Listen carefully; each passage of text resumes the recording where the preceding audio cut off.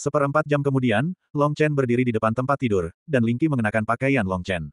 Dia terbungkus selimut tebal, dan wajahnya yang cantik merah memabukkan. Kedua matanya yang besar dipenuhi dengan kewaspadaan, dan dia menatap Long Chen dengan iba. Dia waspada, tetapi juga gugup, malu, dan emosi lainnya. Dia, yang belum pernah merasakan dunia, telah muncul di hadapan Long Chen dalam keadaan telanjang bulat. Terlebih lagi, dia telah melakukannya selama hampir tujuh menit. Hal ini membuat Ling Xi ingin mencari lubang untuk mengubur dirinya. Pada saat ini, gelombang yang tak terhitung jumlahnya melonjak di dalam hatinya.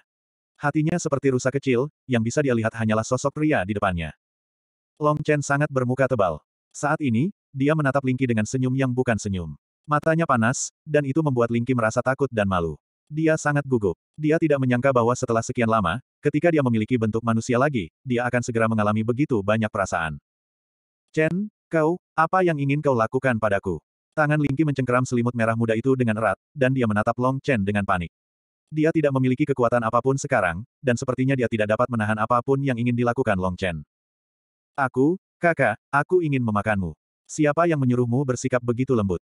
Sambil mengatakan ini, Long Chen menunjukkan ekspresi cemas. Tidak, tidak, ibuku bilang aku belum dewasa, dan aku tidak boleh. Chen, aku mohon padamu, tolong jangan, oke. Okay. Kata Lingki takut-takut. Long Chen hanya bercanda dengannya. Dia baru saja berubah menjadi manusia, dan dia sudah menindasnya. Jika itu meninggalkan bayangan di hatinya, itu tidak akan baik. Aku hanya bercanda. Si kecil, bagaimana perasaanmu sekarang? Long Chen duduk di tepi tempat tidur dan menatap gadis kecil itu dengan tatapan penuh kasih sayang. Ketika dia muncul di hadapan Long Chen dengan tubuh manusianya yang sebenarnya dan kecantikannya yang tiada taraf, Long Chen sedang dalam keadaan tidak sadar. Merasa tatapan panas Long Chen telah menghilang dan kini tergantikan dengan tatapan lembut, rasa malu Lingki berangsur-angsur menghilang. Mengingat bahwa Long Chen baru saja menemukan pakaian untuknya, dan bahwa dia tidak mengganggunya selama seperempat jam, Lingqi merasa rileks dan berkata, aku merasa seperti sedang bermimpi. Aku tidak memiliki kekuatan apa pun di tubuhku, sama seperti saat aku lahir.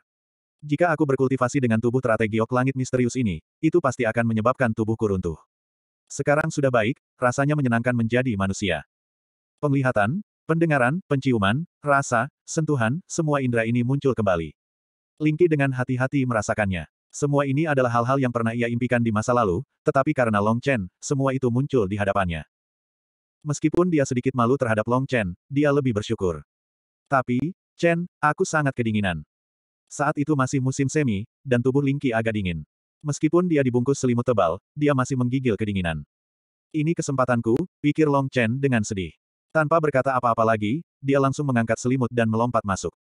Lingki menjerit, tetapi dia tidak menyangka bahwa Long Chen tidak melakukan apa-apa. Dia hanya berbaring di sampingnya, menatapnya, dan berkata, jika kamu percaya padaku, maka gunakan aku untuk menghangatkan diri. Benar-benar. Mata Lingki berbinar. Dia ragu sejenak, lalu bergerak ke sisi Long Chen. Matanya menatap Long Chen dengan malu-malu. Pipinya sedikit kemerahan, dan jelas bahwa jantungnya berdetak lebih cepat. Melihat bahwa dia begitu sentimental, Long Chen mengulurkan lengannya, memeluknya, dan menariknya ke sampingnya, membiarkan kepalanya bersandar di lekuk lengannya. Lingki begitu takut hingga dia menjerit. Seperti seekor udang kecil, dia meringkuk dalam pelukan Long Chen. Panas yang membakar dari tubuhnya, lekuk lengannya yang kuat, dan aroma maskulin yang kuat membuat jantung kecilnya berdetak lebih cepat. Pipinya merah, matanya tertutup rapat, dan bulu matanya yang panjang terus berkibar. Tubuh Lingki memiliki aroma bunga teratai yang memabukkan. Kelembutan di bahu dan punggungnya membuat jantung Long Chen berdebar kencang. Namun, terhadap gadis konyol ini, Lingki, dia semakin mencintainya. Meskipun dia baru saja melihat tubuhnya yang sangat menggoda, dia tetap menahan diri. Lebih tepatnya, orang yang terburu-buru tidak akan bisa makan tahu panas. Long Chen sedang memancing dengan tali panjang untuk menangkap ikan besar. Jika dia tidak menunggu sampai Lingki bersedia dan mereka berdua saling mencintai, itu pasti akan meninggalkan bayangan yang tak terhapuskan di hati mudanya. Sambil menarik selimut merah muda itu, dia membungkus Lingki sepenuhnya. Baru kemudian Long Chen menundukkan kepalanya dan meletakkan dagunya di atas rambut lembut dan harum di atas kepalanya. Kontak tubuh ini membuat tubuh Lingki bergetar seperti udang kecil, dan napasnya kembali cepat. Pegang aku. Jangan terlalu banyak berpikir. Chen bukan orang jahat. Long Chen berbisik di telinganya. Setelah menjadi orang biasa, tubuh Lingki menjadi sangat sensitif.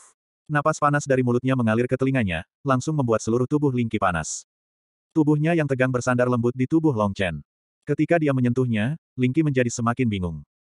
Karena dia mengenakan pakaian Long Chen, tidak ada dudou atau celana dalam. Ketika Long Chen menundukkan kepalanya, dia bisa melihat pemandangan musim semi yang tiba-tiba. Kelembutan yang luar biasa ini, pada saat ini, menekan lengannya. Sebagai pria normal, seluruh tubuh Long Chen secara alami menjadi panas. Long Chen kecil di bawah selangkangannya secara bertahap mulai tegak. Tidak, aku tidak bisa meninggalkan bayangan di hatinya. Lagi pula, dia masih muda. Long Chen menahan diri. Sebenarnya, setelah mengalami hidup dan mati, bisa memeluknya seperti ini, melindunginya, dan menggunakan panasnya sendiri untuk menghangatkannya, hati Long Chen sudah sangat puas. Si kecil, jangan takut. Besok, kita masih harus berangkat ke kota Kekaisaran Biang. Chen berkata bahwa dia tidak akan menyentuhmu, jadi dia pasti tidak akan melakukannya. Long Chen menjamin. Benarkah? Lingki membuka matanya yang besar dan menatap Long Chen dengan mata berkedip. Tatapan mata Long Chen yang tegas dan lurus membuat Lingki benar-benar tersentuh. Air mata mulai terbentuk di matanya, dan suaranya juga menjadi agak tercekat. Chen, kamu begitu baik padaku. Melihat wajah gadis konyol itu bergerak, Long Chen tahu betapa bijaknya keputusannya tadi. Toleransi hari ini hanya untuk wabah yang berlangsung lama di masa depan. Long Chen tahu bahwa dia sama sekali bukan seorang pria sejati. Gadis baik, tidurlah dengan nyenyak. Mulai besok, kita akan mulai bepergian. Long Chen menggunakan telapak tangannya untuk membelai kepala gadis itu dan berkata dengan lembut. Aku tidak ingin tidur, aku ingin berbicara denganmu, Chen. Besok, aku ingin pergi ke kota Kekaisaran Biang. Apa yang akan kita lakukan di sana? Lingki dengan nyaman meringkuk dalam pelukan Long Chen. Seiring pertumbuhan Long Chen yang tiba-tiba, dia perlahan-lahan melepaskan keberaniannya. Pelukan yang nyaman ini membuatnya enggan untuk pergi. Saya pernah mendengar bahwa di alam abadi ini yang di kota Kekaisaran Biyang, ada buah surgawi sembilan surga. Sekarang setelah saya menjadi pengawal ilahi alam abadi di kota Kekaisaran Biyang, saya dapat memasuki alam abadi Niyang. Jadi, besok, kita akan berangkat. Long Chen tersenyum dan berkata. Ah, berita ini, bagi Lingki, benar-benar mengejutkan. Meskipun teratai giok langit mendalam itu ajaib, itu sama sekali tidak sebanding dengan buah surgawi sembilan surga. Dengan buah surgawi sembilan surga, Lingki dapat memulihkan kekuatannya, dan benar-benar memiliki tubuh manusia. Itulah kelahiran kembali yang sebenarnya. Sekarang, dia hanya punya tempat tinggal. Bangun dari tidurnya yang tak berujung, yang didengarnya adalah bahwa Long Chen masih berjuang untuknya. Lingki segera meneteskan air mata syukur. Suaranya tercekat, dan dia cemberut sambil menatap Long Chen. Dia mulai terisak-isak, dan semakin dia menangis, semakin ganas dia jadinya. Tak lama kemudian, lengan baju Long Chen basah. Mengapa kamu menangis, gadis bodoh? Kamu seharusnya bahagia. Long Chen menepuk wajah putih lembutnya dan berkata. Lingki masih tidak berhenti. Jika kamu menangis lagi, aku tidak menginginkanmu lagi. Long Chen berpura-pura marah. Jangan. Lingki membuat gerakan mengancam. Dia merentangkan lengan putihnya yang lembut, dan memeluk pinggang Long Chen yang kuat dengan erat. Puncak kembar dadanya yang lembut menempel erat di pinggang Long Chen. Perasaan gembira membuat kepala Long Chen langsung memerah karena darah. Bersikaplah baik, aku pasti menginginkanmu. Long Chen terengah-engah, dan menyingkirkan lengan Lingki. Jika mereka saling menempel begitu erat, tidak akan lama lagi dia akan benar-benar berubah menjadi binatang buas. Oh, Lingki juga menyadari bahwa gerakannya terlalu keras. Dia tersipu dan membenamkan kepalanya di lengan Long Chen. Setelah beberapa saat, Lingki tiba-tiba bertanya, Chen, apa hubungan kita? Ini adalah pertanyaan yang selama ini ia perjuangkan. Tidak diragukan lagi, sejak pertama kali mereka bertemu, hingga berkali-kali mereka menjalani hidup dan mati bersama. Faktanya, Selama waktu di penjara setan bintang itu, Lingki telah mengorbankan hidupnya untuknya, dan Long Chen dengan tegas melompat turun mengejarnya. Bahkan Xiao Lang dapat melihat hubungan mereka. Ia diam-diam keluar untuk berjaga, tetapi mereka berdua belum pernah mengaku sebelumnya. Long Chen sudah lama ingin mengatakannya, tetapi dia tidak pernah punya kesempatan untuk melakukannya. Pada saat ini, dia memegang wajah Ling Xi di lengannya dan menatap gadis muda yang bisa membalikkan dunia ini. Dengan kecepatan kilat, dia mendaratkan ciuman ringan di bibir lembutnya. Lingki merasa seperti tersambar petir. Matanya membelalak, dan dia menatapnya dengan linglung. Long Chen baru saja menciumnya, tetapi seluruh tubuhnya menegang. Setelah beberapa saat, bibir mereka terpisah. Long Chen menepuk wajah Lingki yang linglung, dan matanya yang menyala-nyala menatap Lingki. Dengan suara rendah, dia mengucapkan setiap kata dengan jelas, Lingki, aku akan melindungimu. Tidak ada yang bisa menyakitimu, tidak ada yang bisa merebutmu dari sisiku. Kau akan bertanya-tanya mengapa aku begitu baik padamu, lalu aku akan memberitahumu. Karena kau adalah wanitaku, untuk seumur hidup ini, untuk selamanya. Lingki adalah wanita Long Chen. Kata-kata penuh gairah seperti itu membuat hati Lingki bergetar. Mata Long Chen yang menyala-nyala dan kata-katanya yang berdampak telah benar-benar meluluhkan hatinya. Jejak lelaki itu telah terukir sangat dalam di jiwanya saat ini, dan tidak akan bisa dihapus bahkan dalam keabadian. Kemanisan, kehangatan, kebahagiaan, semua itu memenuhi hatinya, membuatnya melupakan segalanya. Pada saat ini, mereka tidak memikirkan berapa banyak kesulitan yang harus mereka hadapi di masa depan di bawah sumpah cinta abadi, dan berapa kali mereka akan dipisahkan oleh hidup dan mati sebelum mereka bisa bersama selamanya. Ketika dua orang yang seharusnya tidak pernah bertemu sejak awal bertemu dan ingin bersama, penentangan yang harus mereka hadapi berkali-kali lipat lebih besar daripada yang dihadapi orang biasa. Namun, adakah sesuatu di dunia ini yang ditakuti Long Chen? Dia tidak terlalu memikirkannya. Dia hanya memeluk tubuh Lingki erat-erat. Dia menatap langit berbintang di luar jendela dan mulai menceritakan kepada Lingki tentang apa yang telah terjadi selama periode waktu ini. Dari saat dia terbangun di jurang penjara setan bintang hingga saat dia membunuh Kaisar Yuan dan menjadi eksistensi terkuat di kota Kaisar Yuan. 282. Dari penjara setan bintang hingga sekarang, pencapaian Long Chen saat ini sebagian besar karena keberuntungan, tetapi keunikannya sebagai seniman bela diri naga adalah bagian yang lebih besar. Keuletan dan kecerdasannya sendiri juga merupakan bagian darinya. Setelah mendengarkan Long Chen menceritakan pengalamannya selama kurun waktu ini, Ling Xi merasakan sesuatu yang menggetarkan jiwa. Dia berkata bahwa dia tidak akan tidur, tetapi apa yang dapat dia lakukan terhadap tubuh manusia. Jika dia tidak beristirahat dengan baik, itu tidak mungkin.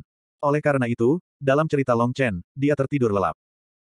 Sebelum fajar keesokan harinya, Long Chen berlari ke kamar para pelayan di Istana Giok dan mengumpulkan satu set lengkap pakaian wanita. Dia tidak peduli apakah Lingki membutuhkannya atau tidak. Dia mengambil setumpuk besar dan kembali agar Lingki dapat memilih sendiri. Tidak ada gadis yang tidak tertarik dengan perlengkapan yang serasi dari gadis-gadis ini.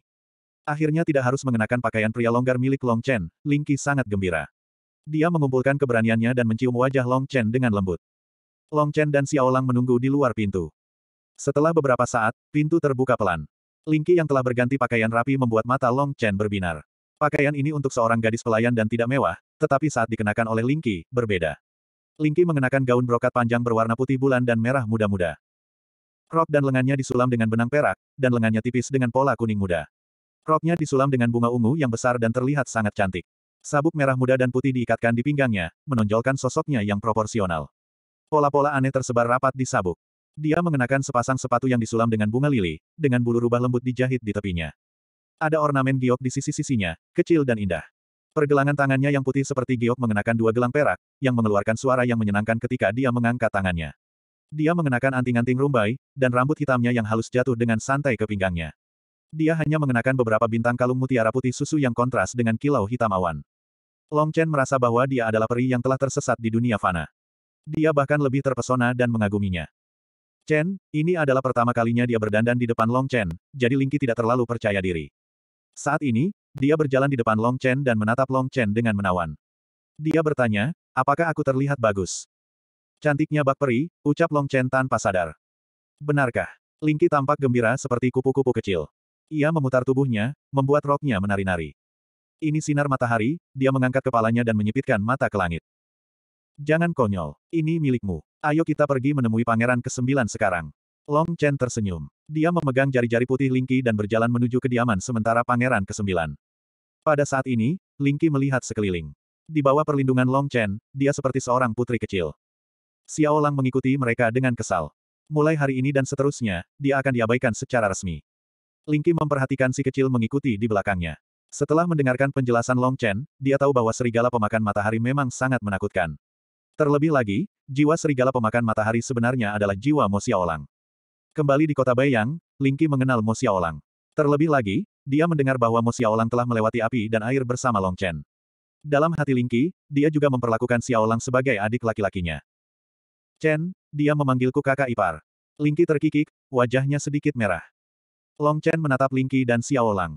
Setelah Yang Lingqing pergi bersama Li Xuanji, mereka berdua adalah orang yang paling penting baginya. Long Chen bersumpah dalam hatinya bahwa dia akan melindungi mereka selama sisa hidupnya. Tentu saja, Xiao Lang mengalami pertemuan yang tidak disengaja dengan serigala pemakan matahari. Pertumbuhannya di masa depan mungkin tidak lebih buruk dari Long Chen. Dua orang dan satu serigala. Di mata orang luar, hanya ada dua orang. Mo Xiao Lang sekarang telah menjadi hewan peliharaan Long Chen, menemani Long Chen di sisinya. Mereka mungkin akan bertarung untuk waktu yang lama. Ketika dia sudah setengah jalan, Pangeran Kesembilan sudah mengirim seseorang untuk menyambutnya. Penjaga itu melihat Lingki di sebelah Long Chen dan terkejut. Lingki seperti peri dari legenda, murni dan mulia. Dia membuat orang merasa malu dengan inferioritas mereka dan tidak bisa memiliki pikiran yang tidak senonoh. Tak lama kemudian, Long Chen tiba di Aula Kaisar Giok. Di depan Aula Kaisar Giok, Long Chen melihat tunggangan pangeran ke-9, elang naga pembela angin. Binatang iblis kelas 9 yang mendalam ini dengan cepat mundur beberapa langkah setelah mencium aura Mo Xiaolang yang menakutkan dan mencekam. Binatang itu merintih untuk menunjukkan ketundukannya. Biasanya, saat seekor binatang iblis menjadi binatang jinak, keganasan di tulang mereka telah terkikis. Di hadapan binatang iblis yang tak tertandingi seperti serigala pemakan matahari, elang naga pembelah angin tidak berani bersikap gegabah. Di Aula Kaisar Giok, Pangeran ke-9 sudah menunggu. Untuk perjalanan ke kota Yuanling ini, semua tenaga kerja dan sumber daya istana Kekaisaran Giok disediakan oleh tiga faksi. Sekarang, hanya Pangeran ke-9 dan Yan Tua yang akan meninggalkan kota Yuanling. Setelah Long Chen tiba, Pangeran ke-9 hendak mengatakan bahwa mereka akan pergi. Namun, ketika dia melihat ada seorang gadis cantik di samping Long Chen, Pangeran ke-9 benar-benar tercengang. Matanya menatap Lingqi. Ini istriku, Lingqi. Tidak apa-apa jika dia ikut denganku ke kota Kekaisaran Biyang, kata Long Chen. Lingqi terlalu cantik. Bahkan tatapan pangeran ke-9 agak tidak tepat, jadi Long Chen harus mengatakan ini. Kecantikan yang tiada taraf, sangat cantik. Kamu benar-benar beruntung. Aku tadi bersikap kasar. Diinterupsi oleh Long Chen, pangeran ke-9 mengalihkan pandangan dan tersenyum pada Long Chen. Setelah diganggu oleh Long Chen, pangeran ke-9 mengalihkan pandangannya dan menatap Long Chen sambil tersenyum. Kecantikan yang tiada taraf, kecantikan yang luar biasa. Kamu benar-benar beruntung. Aku bersikap kasar tadi. Tatapan mata pangeran ke-9 membuat Lingqi tidak nyaman. Dia memegang lengan Long Chen dan bersembunyi di belakang Long Chen. Mulai sekarang, kamu akan menetap di kota Kekaisaran Biyang. Tentu saja, kamu harus membawanya.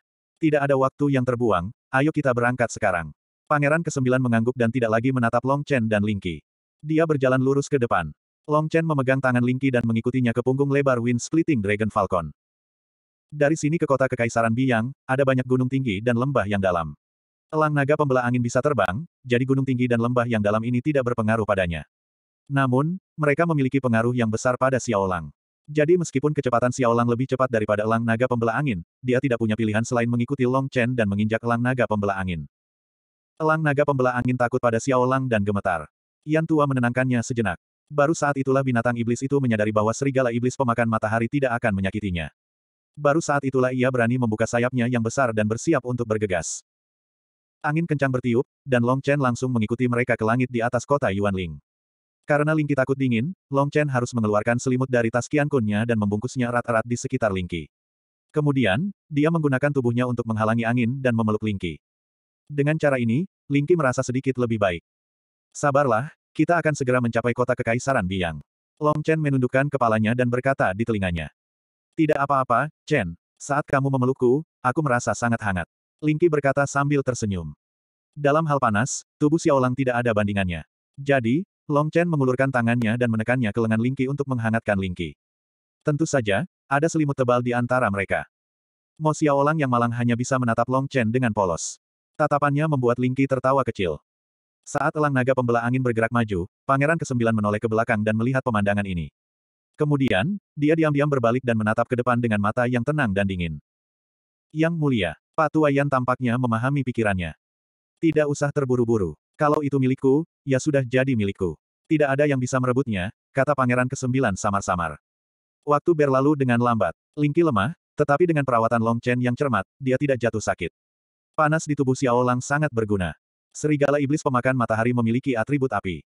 Jika Xiaolang tidak melepaskan api leluhur iblis sembilan neraka, tubuhnya akan terbakar. Sinar matahari terus-menerus berkumpul ke arah anak serigala itu. Chen, aku selalu merasa bahwa perjalanan ke kota kekaisaran Bi yang ini akan sangat berbahaya. Buah surgawi sembilan surga di negeri ajaib ini yang mungkin akan sangat sulit didapatkan, kata Lingqi dengan sedikit khawatir. Ada banyak ahli di kota kekaisaran Biyang. Long Chen tidak akan berguna di sana. Tentu saja, itu akan berbahaya. Jangan khawatir. Tekanan akan membawa kemajuan. Saat pertama kali pergi ke kota Yuanling, kekuatanku belum terbentuk. Namun, di kota Kekaisaran Biyang, selain lebih lemah dari yang lain dalam hal kultivasi, aku tidak lebih buruk dari yang lain, kata Long Chen tegas. Memang, dalam hal Earth Rank, dia sudah memiliki Thunder Flame Battle Body di level ketiga, Blue Dragon Battle Technique di level menengah, Nine Spinning Fire Shield di level menengah, dan Divine Fire Clone di level tinggi. Selain itu, Blood Refining Ki dan kemampuan lain yang dimiliki oleh para prajurit naga sama abnormalnya seperti sebelumnya. Bahkan Soul Devouring Demonic Pupil yang dia dapatkan dari Li Xuanji mulai berperan. Terlebih lagi, Long Chen sekarang memiliki binatang iblis yang tak tertandingi, Xiao Lang, sebagai pembantu. Betapapun dalamnya air di kota Kekaisaran Biyang, kita bertiga harus pergi dan menjelajahinya. Selagi kita masih muda, mari kita berusaha keras, kata Long Chen sambil tersenyum. Di kota Kekaisaran Biyang, ada beberapa kekuatan super. Long Chen dapat melihat sudut kota Kekaisaran Biyang ini dari Pangeran ke-9. Long Chen memperkirakan bahwa bahkan jika dia dan Xiaolang bergabung, mereka masih jauh dari menjadi tandingan Pangeran ke-9. Pada saat ini, Lingki tiba-tiba mengangkat kepalanya dan berkata dengan gugup, Chen, tadi Xiao Lang memberitahuku bahwa dia merasa tatapan pangeran ke-9 agak jahat. Dia juga tahu bahwa pangeran ke-9 saat ini, Long Chen masih tidak bisa melawan, jadi dia sedikit bingung. Sebenarnya, Long Chen tahu tentang ini. Pandangan sederhana bisa mengkhianati pikiran seseorang. Hubungan antara pangeran ke-9, Lin Changtian, dan dia lebih merupakan transaksi bisnis dan eksploitasi. Tidak mungkin bagi mereka untuk menjadi saudara seumur hidup dan mati. Jangan khawatir, aku punya rencana. Long Chen mengusap bagian belakang kepalanya dan berkata. Waktu berlalu dengan lambat. Pangeran ke-9 pernah berkata bahwa dengan kecepatan elang naga pembelah angin, akan memakan waktu total lima hari untuk menempuh perjalanan dari kota Yuan Ling ke kota Kekaisaran Biang. Tak lama kemudian, lima hari hampir berlalu.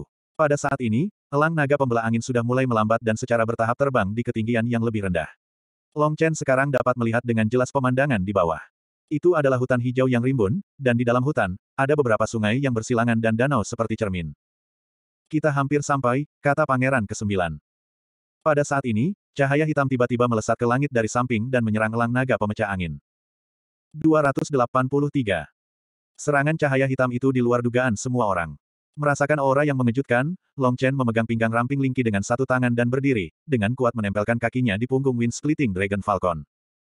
Pada saat ini, cahaya hitam itu sudah berhenti di depan elang naga pembelah angin. Itu adalah elang hitam kecil tapi sangat ganas. Elang hitam ini tidak sebesar burung rok pembelah angin, dan hanya bisa membawa satu orang. Namun, Long Chen yakin bahwa elang hitam ini jelas merupakan binatang iblis tingkat bumi, dan bahkan lebih kuat dari serigala iblis pemakan matahari. Pangeran ke-9, Aku tidak menyangka akan bertemu denganmu di sini. Aku telah menghabiskan sepatu besiku dalam pencarian yang sia-sia, hanya untuk menemukanmu secara kebetulan. Di atas elang hitam itu berdiri seorang pria berpakaian ketat berwarna hitam.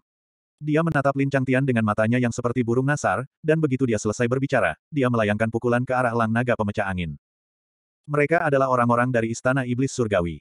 Yang tua, lindungi mereka.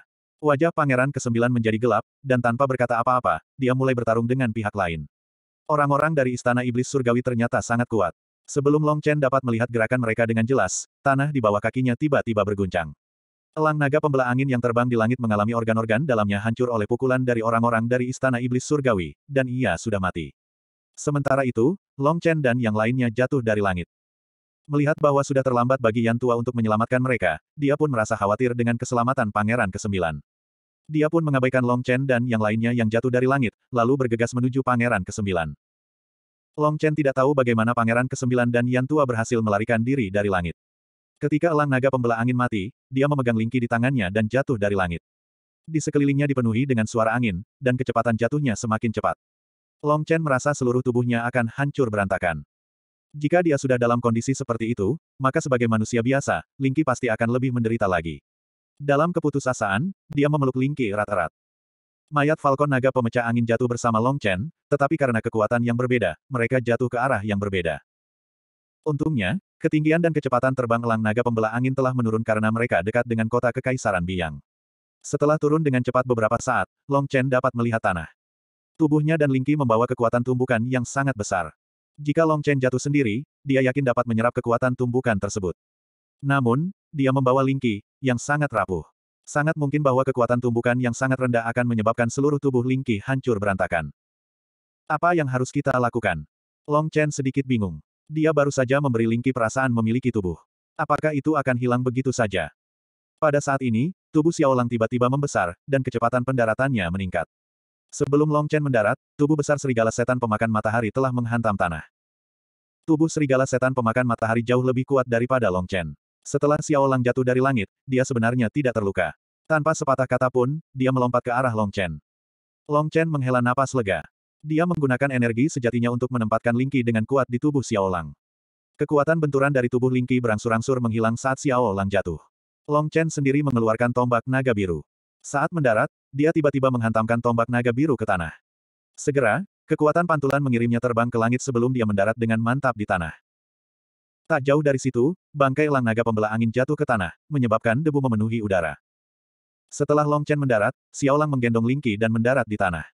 Long Chen bergegas menghampiri. Ketika dia menemukan bahwa Lingqi berhasil lolos dari bencana dan hanya ketakutan, wajahnya pucat, Long Chen menghela napas lega dan memeluk Lingqi erat-erat. Dia baru saja mendapatkan tubuh, dan bahkan sebelum dia mencapai kota Kekaisaran Biyang, dia telah mengalami bencana seperti itu. Lingqi benar-benar tidak beruntung, tetapi untungnya, dia baik-baik saja pada akhirnya.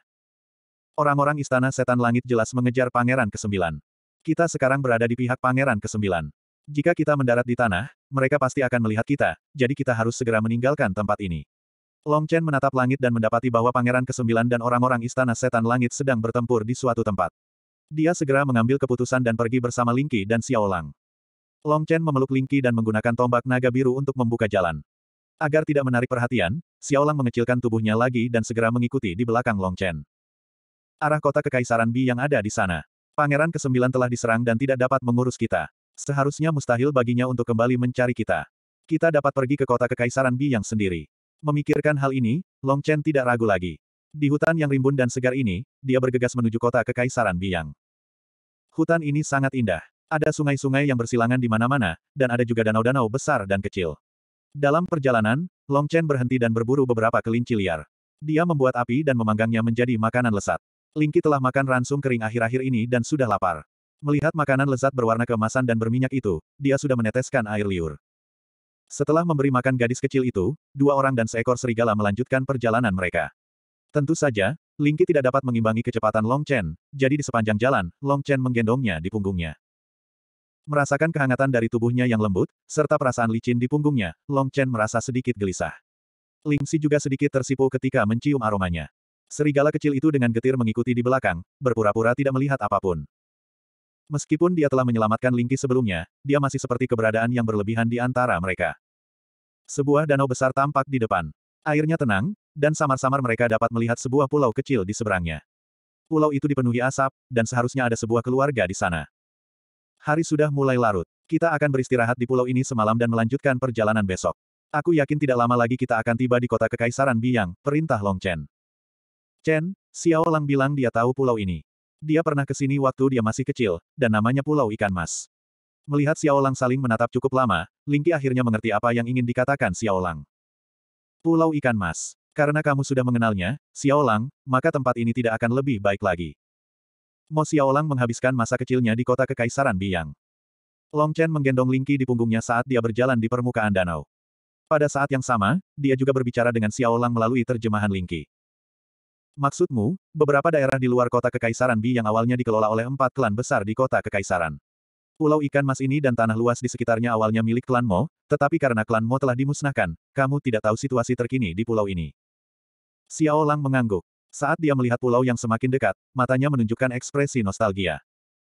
Ketika dia berusia enam tahun, seluruh klannya dimusnahkan, dan dia harus melarikan diri sendirian sambil membawa pertumpahan darah. Tragedi yang dialami Xiao Lang sulit dibayangkan oleh Long Chen. Tepat saat dia hendak menghibur saudaranya, dia dan Xiaolang samar-samar mendengar teriakan minta tolong. Selamatkan aku. Kalian orang Woko, pergilah ke neraka. Di tengah teriakan minta tolong, suara tawa pria itu terdengar. Ayo kita pergi dan melihat. Tentu saja, Long Chen tidak bisa hanya melihat mereka mati. Mengikuti arah suara itu, keduanya segera tiba di tempat tujuan. Di depan mereka ada sebuah perahu kecil yang mengapung di danau. Saat ini, ada dua orang yang sedang bertengkar di atas perahu itu. Mereka adalah seorang pria dan seorang wanita. Pria itu meraung seperti binatang buas, menekan wanita itu ke tubuhnya dan merobek pakaiannya dengan liar. Tanpa berkata apa-apa, Long Chen bergegas menghampiri dan menendang pria itu hingga terjatuh ke dalam air. Dia tidak sepenuhnya mengerti apa yang sedang terjadi, jadi dia tidak menendang pria itu hingga mati. Pria ini juga seorang pejuang inti bumi, jadi dia tidak akan tenggelam di dalam air. Setelah itu, Long Chen menatap wanita di atas perahu. Ketika dia melihatnya dengan jelas, hatinya dipenuhi amarah. Gadis di depannya kurus dan lemah, dan wajahnya muda dan lembut. Tubuhnya baru saja mulai berkembang, dan dia baru berusia 12 atau 13 tahun. Namun, baru saja, pria besar dan kekar itu jelas akan memperkosanya. Bajingan. Ketika Lingki melihat ini, dia menggertakkan giginya dan mengutuk. Pada saat ini, pria yang ditendang itu sudah mengapung ke permukaan air. Dia mengumpat dalam bahasa yang tidak bisa dipahami Long Chen. Matanya merah saat dia menatap Long Chen dengan ganas. Segera, dia melompat keluar dari air dan melepaskan kekuatan seorang prajurit inti bumi saat dia menyerang Long Chen. Pria ini tampak sangat jelek dan menyedihkan. Dia pendek dan gemuk, dan tingginya bahkan tidak mencapai dada Long Chen. Namun, matanya dipenuhi dengan nafsu darah dan kegilaan. Hanya dengan satu pandangan, orang bisa tahu bahwa dia bukan orang yang bisa dianggap remeh. Nak, beraninya kau menyentuh orang-orang woko kita yang hebat. Kau sedang mencari kematian. Pada saat ini, pria itu akhirnya berbicara dalam bahasa yang bisa dimengerti Long Chen. Namun, aksennya sangat aneh, dan butuh banyak usaha bagi Long Chen untuk memahami apa yang dia katakan. Orang Woko. Kalian pikir kalian siapa? Pada saat ini, bagaimana mungkin Long Chen tidak mengerti bahwa orang ini adalah binatang buas? Ketika dia melompat keluar dari air dan ingin membunuh Long Chen, Long Chen segera menusuk dadanya dengan pedang roh iblisnya. Mata lelaki pendek itu terbuka lebar saat ia jatuh ke dalam air. Ia meninggal dengan mata terbuka lebar. Darah mengucur deras dari dadanya, dan segera, air danau hijau di sekitarnya berubah menjadi merah. Gadis itu telah melihat dengan jelas bagaimana Long Chen membunuh orang-orang Woko. Pada saat ini, dia berdiri dan merapikan pakaiannya. Kemudian, dia dengan sopan berkata kepada Long Chen, Yu kecil, terima kasih kakak laki-laki dan kakak perempuan karena telah menyelamatkanku. Gadis ini sangat tangguh. Menghadapi situasi seperti itu, dia bahkan tidak menangis. Apakah namamu Little Yu? Apa yang terjadi? Long Chen menyadari bahwa dia berasal dari pulau itu, jadi dia mulai mengobrol dengannya. Pria tadi adalah orang Woko. Kupikir mereka tidak akan datang hari ini, jadi aku keluar untuk bermain. Aku tidak menyangka akan bertemu dengannya. Jika kakak tidak menyelamatkanku, aku pasti sudah mati. Wajah Xiao Yu dipenuhi ketakutan saat mengatakan ini. Apa itu orang Woko? Long Chen bertanya sambil menarik Lingki untuk duduk di atas perahu. 284. Pada saat ini, Xiao Lang menyentuh kaki Long Chen. Melalui terjemahan Lingki, Long Chen mengerti apa yang ingin dikatakan Xiao Lang. Suku Wu awalnya adalah suku manusia di sebelah timur negara Changyang. Kemudian, karena lingkungan yang keras, suku tersebut pindah ke sekitar kota Kekaisaran Biyang. Para elit suku tersebut membentuk keluarga Yamato di kota Kekaisaran Bi yang karena mereka memiliki beberapa kemampuan. Mereka sekarang menjadi salah satu dari tiga keluarga besar di kota Kekaisaran dan memiliki kekuatan yang sama dengan keluarga Mo. Demikianlah informasi yang disampaikan Xiao Lang. Setelah mendengar apa yang mereka katakan, Long Chen menyadari bahwa orang-orang suku Wu tidaklah sederhana. Melalui terjemahan Lingki, Xiao Lang berkata, suku Wu biasanya tinggal di sekitar kota Kekaisaran dan memiliki bahasa mereka sendiri. Penampilan mereka sedikit berbeda dari orang-orang di negara Changyang. Mereka umumnya jelek dan pendek. Mereka kasar, kejam, dan biadab. Baik pria maupun wanita di suku itu sangat bebas dan tidak berperi kemanusiaan. Namun, karena keluarga Yamato mendukung suku Wu lainnya di kota Kekaisaran, mereka selalu baik-baik saja. Tidak banyak orang yang berani memprovokasi mereka. Iya, ya, mereka sama sekali tidak bisa disebut manusia. Mereka adalah sekelompok binatang buas yang berkulit manusia. Berbicara tentang suku Wu, Xiao Yu dipenuhi dengan kemarahan yang wajar. Xiao Yu, katakan padaku, mengapa kamu berkata begitu? Long Chen bertanya dengan khawatir. Meskipun dia ingin segera pergi ke kota Kekaisaran Biyang, sepertinya ada sesuatu di sini yang membutuhkan bantuannya. Selain itu, Xiao Lang tampaknya memiliki perasaan terhadap Pulau Ikan Emas. Jika orang-orang di Pulau Ikan Emas dalam kesulitan, Long Chen berpikir bahwa dia mungkin dapat membantu. Itu karena Pulau Ikan Emas kita sudah hampir musnah, kata Xiao Yu dengan ekspresi muram. Apa yang terjadi? Tanya Long Chen. Tanah di sekitar kota kekaisaran dulunya berada di bawah yurisdiksi empat klan besar. Namun, setelah klan Mo menghilang, tanah di bawah yurisdiksi klan Mo mulai diperebutkan oleh kekuatan lain. Karena pulau ikan mas kami terletak di daerah terpencil dan kami tidak memiliki keuntungan apa pun, tempat itu selalu damai. Xiao Yu terdiam sejenak sebelum melanjutkan. Namun akhir-akhir ini, suku Wu dengan panik mengumpulkan tanah di sekitar sini. Mereka akan segera tiba di Pulau Ikan Mas. Tuan pulau kami berkata bahwa suku Wu memiliki sifat yang ganas dan mereka seperti binatang buas. Ke mana pun mereka pergi, mereka akan membakar, merampok, dan membunuh. Mereka akan melakukan apa saja, terutama wanita cantik. Sangat sulit bagi mereka untuk lepas dari cengkeraman jahat mereka. Awalnya kami ingin pindah, tetapi sebagian besar orang di pulau ini tidak mau pergi. Ini adalah tanah yang ditinggalkan leluhur kami untuk kami. Kami tidak bisa menyerahkannya kepada binatang buas ini. Penguasa pulau berkata bahwa kita hanya punya waktu lima hari lagi. Saat ini, semua pembudidaya di pulau itu sedang berkultivasi dengan panik. Selama Raswu tiba, kita pasti akan bertarung sampai mati dengan mereka. Bahkan jika kita berdarah sampai tetes darah terakhir, kita tidak akan menyerahkan tanah leluhur kita kepada orang lain. Kita tidak akan membiarkan sekelompok binatang buas menginjak kepala kita. Meskipun Xiao Yu masih muda, dia sangat berpengetahuan. Pada saat itu, dia menjelaskan semuanya secara terperinci. Dia mengepalkan tangan kecilnya erat-erat dan darahnya mendidih. Matanya dipenuhi dengan tatapan yang tak kenal ampun. Binatang buas ini pasti mata-mata suku Wu. Sekarang mata-mata itu telah mati di sini, suku Wu pasti akan mempercepat serangan mereka jika mereka mengetahuinya. Ketika saat itu tiba, memikirkan kekuatan suku Wu, Xiao Yu merasa sedikit tidak berdaya. Meskipun dia takut, dia tidak menyerah. Chen, Xiao Lang ingin membantu mereka. Dia berkata bahwa mereka adalah orang-orang dari klan Mo dan tidak dapat dinodai oleh orang lain, kata Lingki lembut. Long Chen menundukkan kepalanya dan menatap tatapan penuh gairah Xiao Lang. Dia mengangguk. Xiao Yu, kami akan tinggal dan membantumu, kata Long Chen sambil tersenyum. Mengesampingkan hubungan Xiao Lang, Long Chen juga tidak ingin pulau yang damai ini dihancurkan oleh kebiadaban. Selain itu, Ketika Xiao Yu mengatakan itu, semangatnya menghadapi kematian dengan tenang menyentuh Long Chen. Long Chen tahu bahwa ini adalah roh suatu suku. Benar-benar, mata Xiao Yu dipenuhi dengan keterkejutan. Dia telah melihat dengan jelas kekuatan Long Chen ketika dia membunuh prajurit inti bumi tadi. Jika Long Chen dapat membantu, Pulau Ikan Mas mungkin masih memiliki harapan. Paling tidak, dengan bantuan Long Chen, Pulau Ikan Mas akan memiliki lebih sedikit korban. Adapun perjalanan ke kota Kekaisaran Biyang, tidak masalah jika tertunda beberapa saat.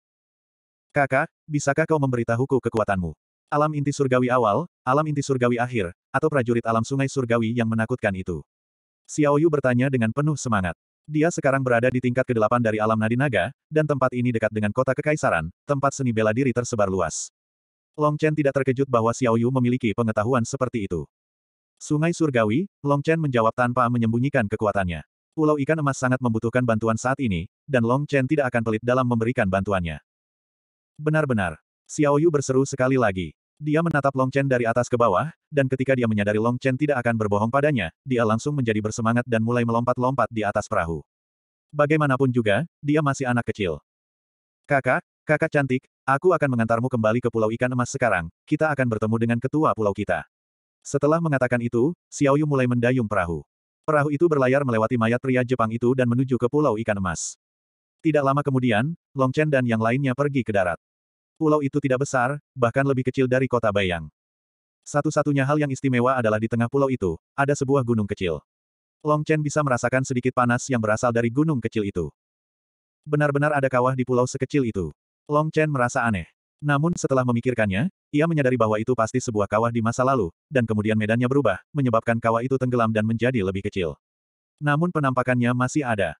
Xiao Lang tampaknya juga menyadari keanehan di tempat itu. Dia mengendus udara dengan hati-hati dan menggelengkan kepalanya, seolah-olah dia memiliki beberapa keraguan. Xiao Lang berkata bahwa dia bisa merasakan aura binatang iblis, Lingki berbisik ke telinga Long Chen. Binatang iblis. Kurasa tidak. Kalau ada binatang iblis, pulau ikan emas pasti sudah hancur sejak lama. Pulau itu tidak akan ada selama ini. Long Chen menggelengkan kepalanya. Kakak, ikut aku. Xiao Yu berjalan di depan dan melambai ke arah Long Chen. Baru pada saat itulah Long Chen dan Xiao Lang menghentikan apa yang sedang mereka lakukan dan fokus berjalan bersama Xiao Yu. Dapat dilihat bahwa Pulau Ikan Emas sangat damai. Tidak banyak penduduk pulau yang tinggal di sini, dan sebagian besar dari mereka mencari nafkah dengan memancing. Orang-orangnya sederhana dan jujur, yang membuat Long Chen merasa sangat nyaman. Namun, yang membuat Long Chen bingung adalah bahwa di sepanjang jalan, mereka tampaknya telah melewati beberapa desa, tetapi tidak banyak pria kuat. Hanya ada beberapa wanita yang melakukan pekerjaan rumah tangga dan anak-anak bermain dengan riang. Itu adalah pemandangan yang damai dan indah.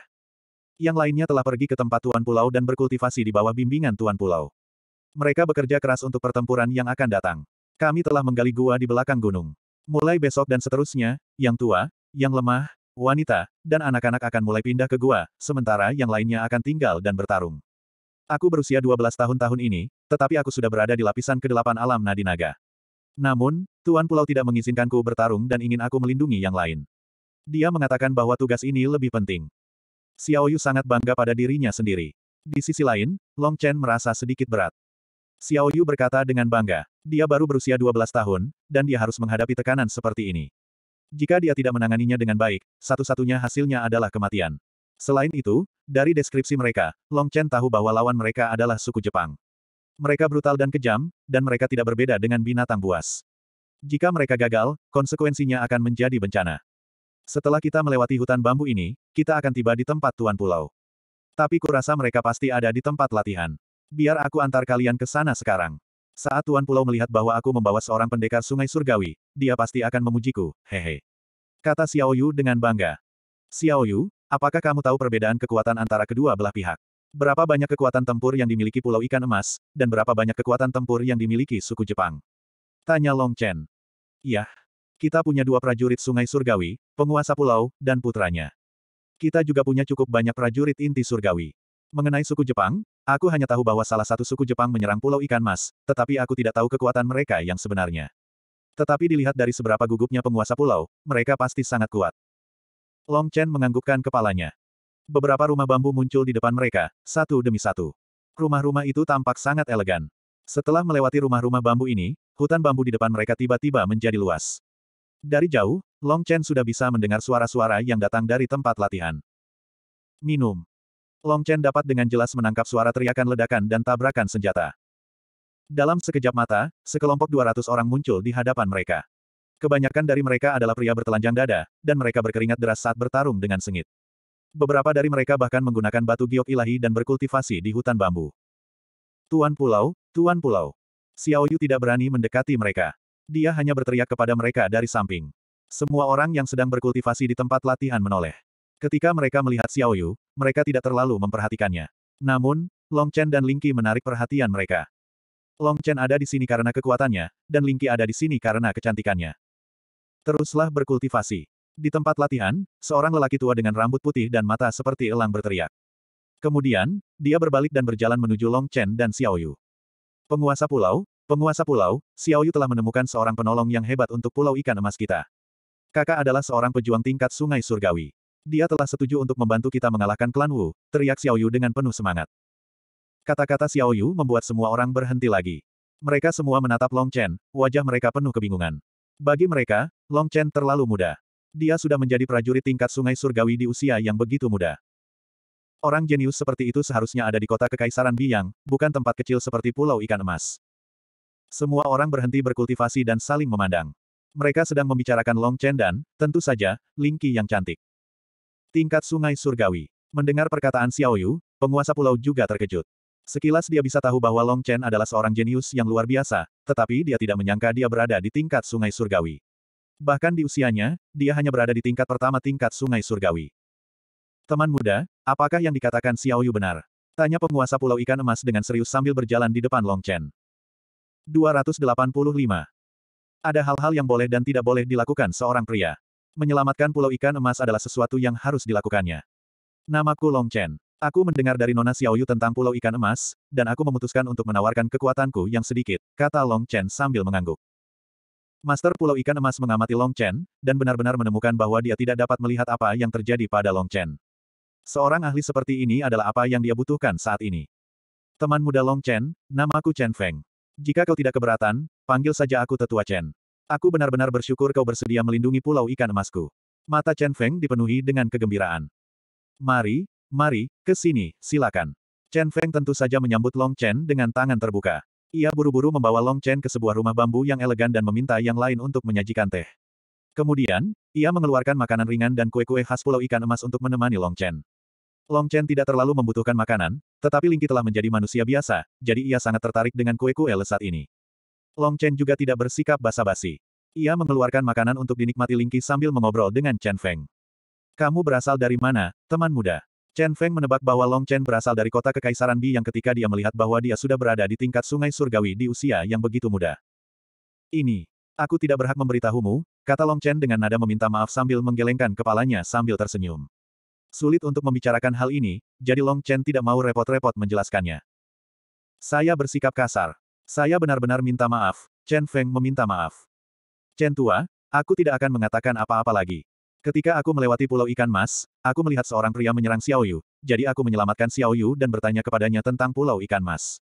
Apa yang dilakukan suku Wu benar-benar membuat marah manusia dan dewa, jadi aku memutuskan untuk membantu. Namun, aku tidak tahu apa pun tentang kekuatan suku Wu, jadi kuharap Chen Tua dapat memberitahuku, kata Long Chen. Jadi begitulah adanya. Tidak heran Little Yu membawamu ke sini. Alis Chen Feng sedikit berkerut, dan dia berkata, kali ini, salah satu klan dari suku Wu telah mengarahkan pandangan mereka ke Pulau Ikan Mas. Klan ini selalu aktif di dekat Pulau Ikan Mas, dan nama mereka menimbulkan rasa takut di hati orang-orang. Di klan ini, ada sepasang suami istri yang merupakan seniman bela diri di tingkat kedua dari tingkat Sungai Surgawi. Mereka juga memiliki beberapa seniman bela diri di tingkat pertama dari tingkat Sungai Surgawi, jadi. Ketika mendengar berita ini, Long Chen terkejut. Hanya ada dua elit tingkat pertama Heavenly River di Pulau Ikan Mas. Penguasa pulau, maafkan aku karena terus terang, tetapi kekuatan pihak lain jelas melampaui kekuatanmu. Kau tidak memiliki peluang untuk menang sama sekali. Mengapa kau tidak memindahkan klanmu? Sebaliknya, kau tinggal di sini dan menyia-nyiakan hidupmu untuk hal yang sia-sia, kata Long Chen dengan ekspresi serius. Saya juga berencana untuk memindahkan klan saya, tetapi tidak banyak orang yang setuju. Bagaimana mungkin kami menyerahkan tanah peninggalan leluhur kami begitu saja? Semua anggota klan saya mengatakan bahwa tidak peduli seberapa kuat pihak lain, ketika kami berdarah sampai tetes terakhir, kami pasti akan membuat mereka membayar harga yang mahal. Meskipun kami akan mati, jiwa kami akan hidup selamanya. Ketika dia mencapai akhir pidatonya, Chen Feng sama bersemangatnya dengan Xiao Yu. Melihat wajah lelaki tua itu memerah karena kegembiraan, hati Long Chen pun ikut terinfeksi. Tiba-tiba ia merasakan darahnya mendidih. Sebelumnya, ia pasti telah menjadi penolong karena Xiao Lang, tetapi sekarang, Long Chen akan melakukan yang terbaik apa pun yang terjadi. Teman muda Long Chen, aku akan berterima kasih padamu apa pun keputusanmu. Namun, peluang menang di Pulau Ikan Mas terlalu kecil. Kamu masih muda, jadi kamu tidak boleh menyia-nyiakan hidupmu untuk hal yang sia-sia. Jangan khawatir, Pak Tua Chen. Sekalipun aku tidak sebanding dengan mereka, aku tidak akan kesulitan untuk tetap hidup. Jika saatnya tiba, aku pasti akan berusaha semaksimal mungkin untuk meminimalkan korban di Pulau Ikan Mas. Chen Feng memberitahu Long Chen tentang kehebatan pertempuran suku Wu, tetapi dia sama sekali tidak takut. Hal ini sangat menyentuh hati Chen Feng. Anda pasti sedang membual. Pada saat ini, seorang pria jangkung setengah baya berjalan memasuki rumah bambu dan menatap Long Chen dengan dingin. Aura pada pria ini tidak lebih lemah dari aura Chen Feng. Dia pastilah kultivator tingkat sungai surgawi lainnya di Pulau Ikan Mas. Omong kosong, gerutu Chen Feng. Chen Feng menegur. Kemudian, dia tersenyum pada Long Chen, dan berkata, ini putraku, Chen Lei. Lei, Er, ini teman muda kita, Long Chen, yang telah setuju untuk membantu Pulau Ikan Mas kita. Kau seharusnya sudah mendengar tentangnya, kan? Di usia yang begitu muda, dia sudah berada di tingkat sungai surgawi. Dia jauh lebih kuat darimu. Chen Lei tahu tentang ini. Dia memandang Long Chen dari atas ke bawah, merasa bahwa dia agak tidak bisa diandalkan. Karena itu, dia berkata, Nak, jangan bilang kau punya motif tersembunyi. Aku tidak percaya akan ada orang bodoh yang datang ke Pulau Ikan Mas untuk mati tanpa alasan. Chen Lei, omong kosong apa yang kau bicarakan? Keluar dari sini. Chen Feng berdiri dari kursi bambu dan menatap Chen Lei dengan tatapan dingin. Baiklah, baiklah. Chen Lei marah ketika melihat ayahnya benar-benar marah padanya. Dia berkata dengan nada sarkastis, Ayah, aku lihat kau, bocah nakal, tidak terlihat seperti orang baik. Kau bahkan mungkin mata-mata untuk suku Wu. Bajingan, dasar tolol, keluar dari sini sekarang juga. Apa kau pernah melihat mata-mata setinggi itu untuk suku Wu? Dengan usia Long Chen, kekuatannya saat ini, penampilannya yang tinggi, dan perawakannya yang tinggi, tidak mungkin dia bisa menjadi mata-mata suku Wu. Chen Lei tidak tahu bagaimana membantah ketika dia memikirkan tentang tingginya suku Wu. Bagaimanapun, dia merasa ada yang salah dengan Long Chen, tetapi dia tidak bisa menunjukkannya. Yang bisa dia lakukan hanyalah pergi.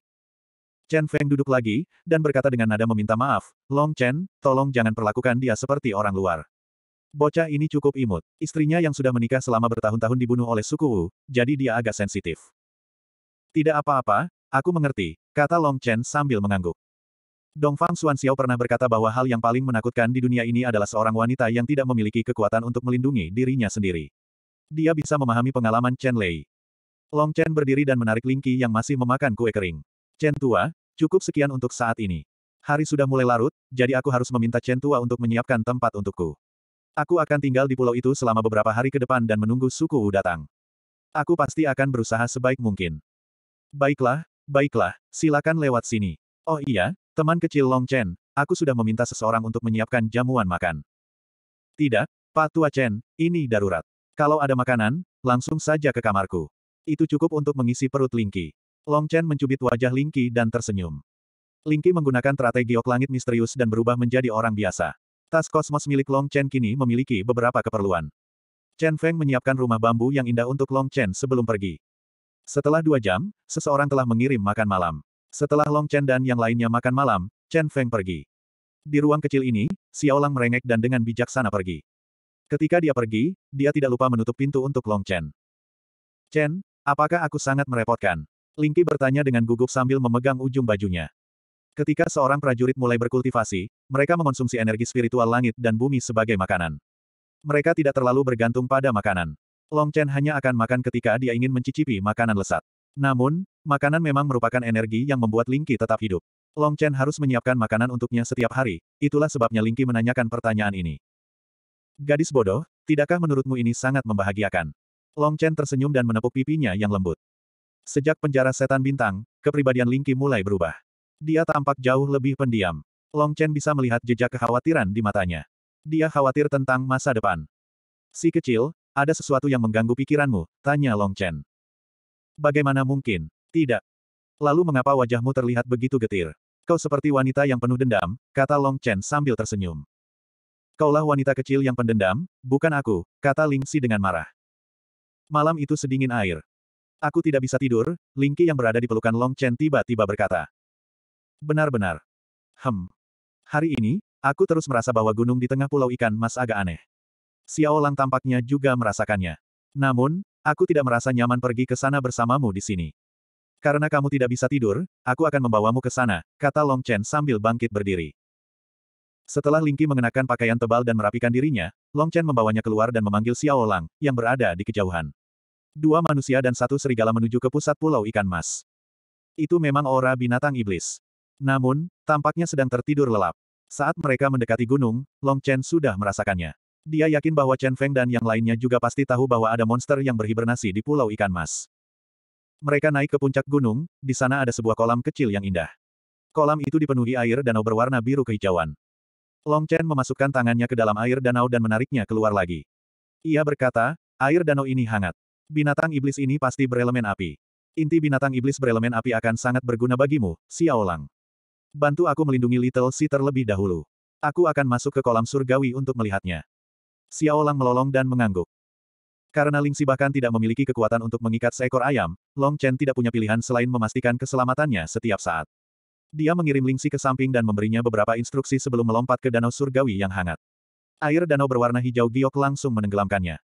Yang mengejutkan Long Chen adalah meskipun kolam surgawi itu tidak besar, kolam itu sangat dalam.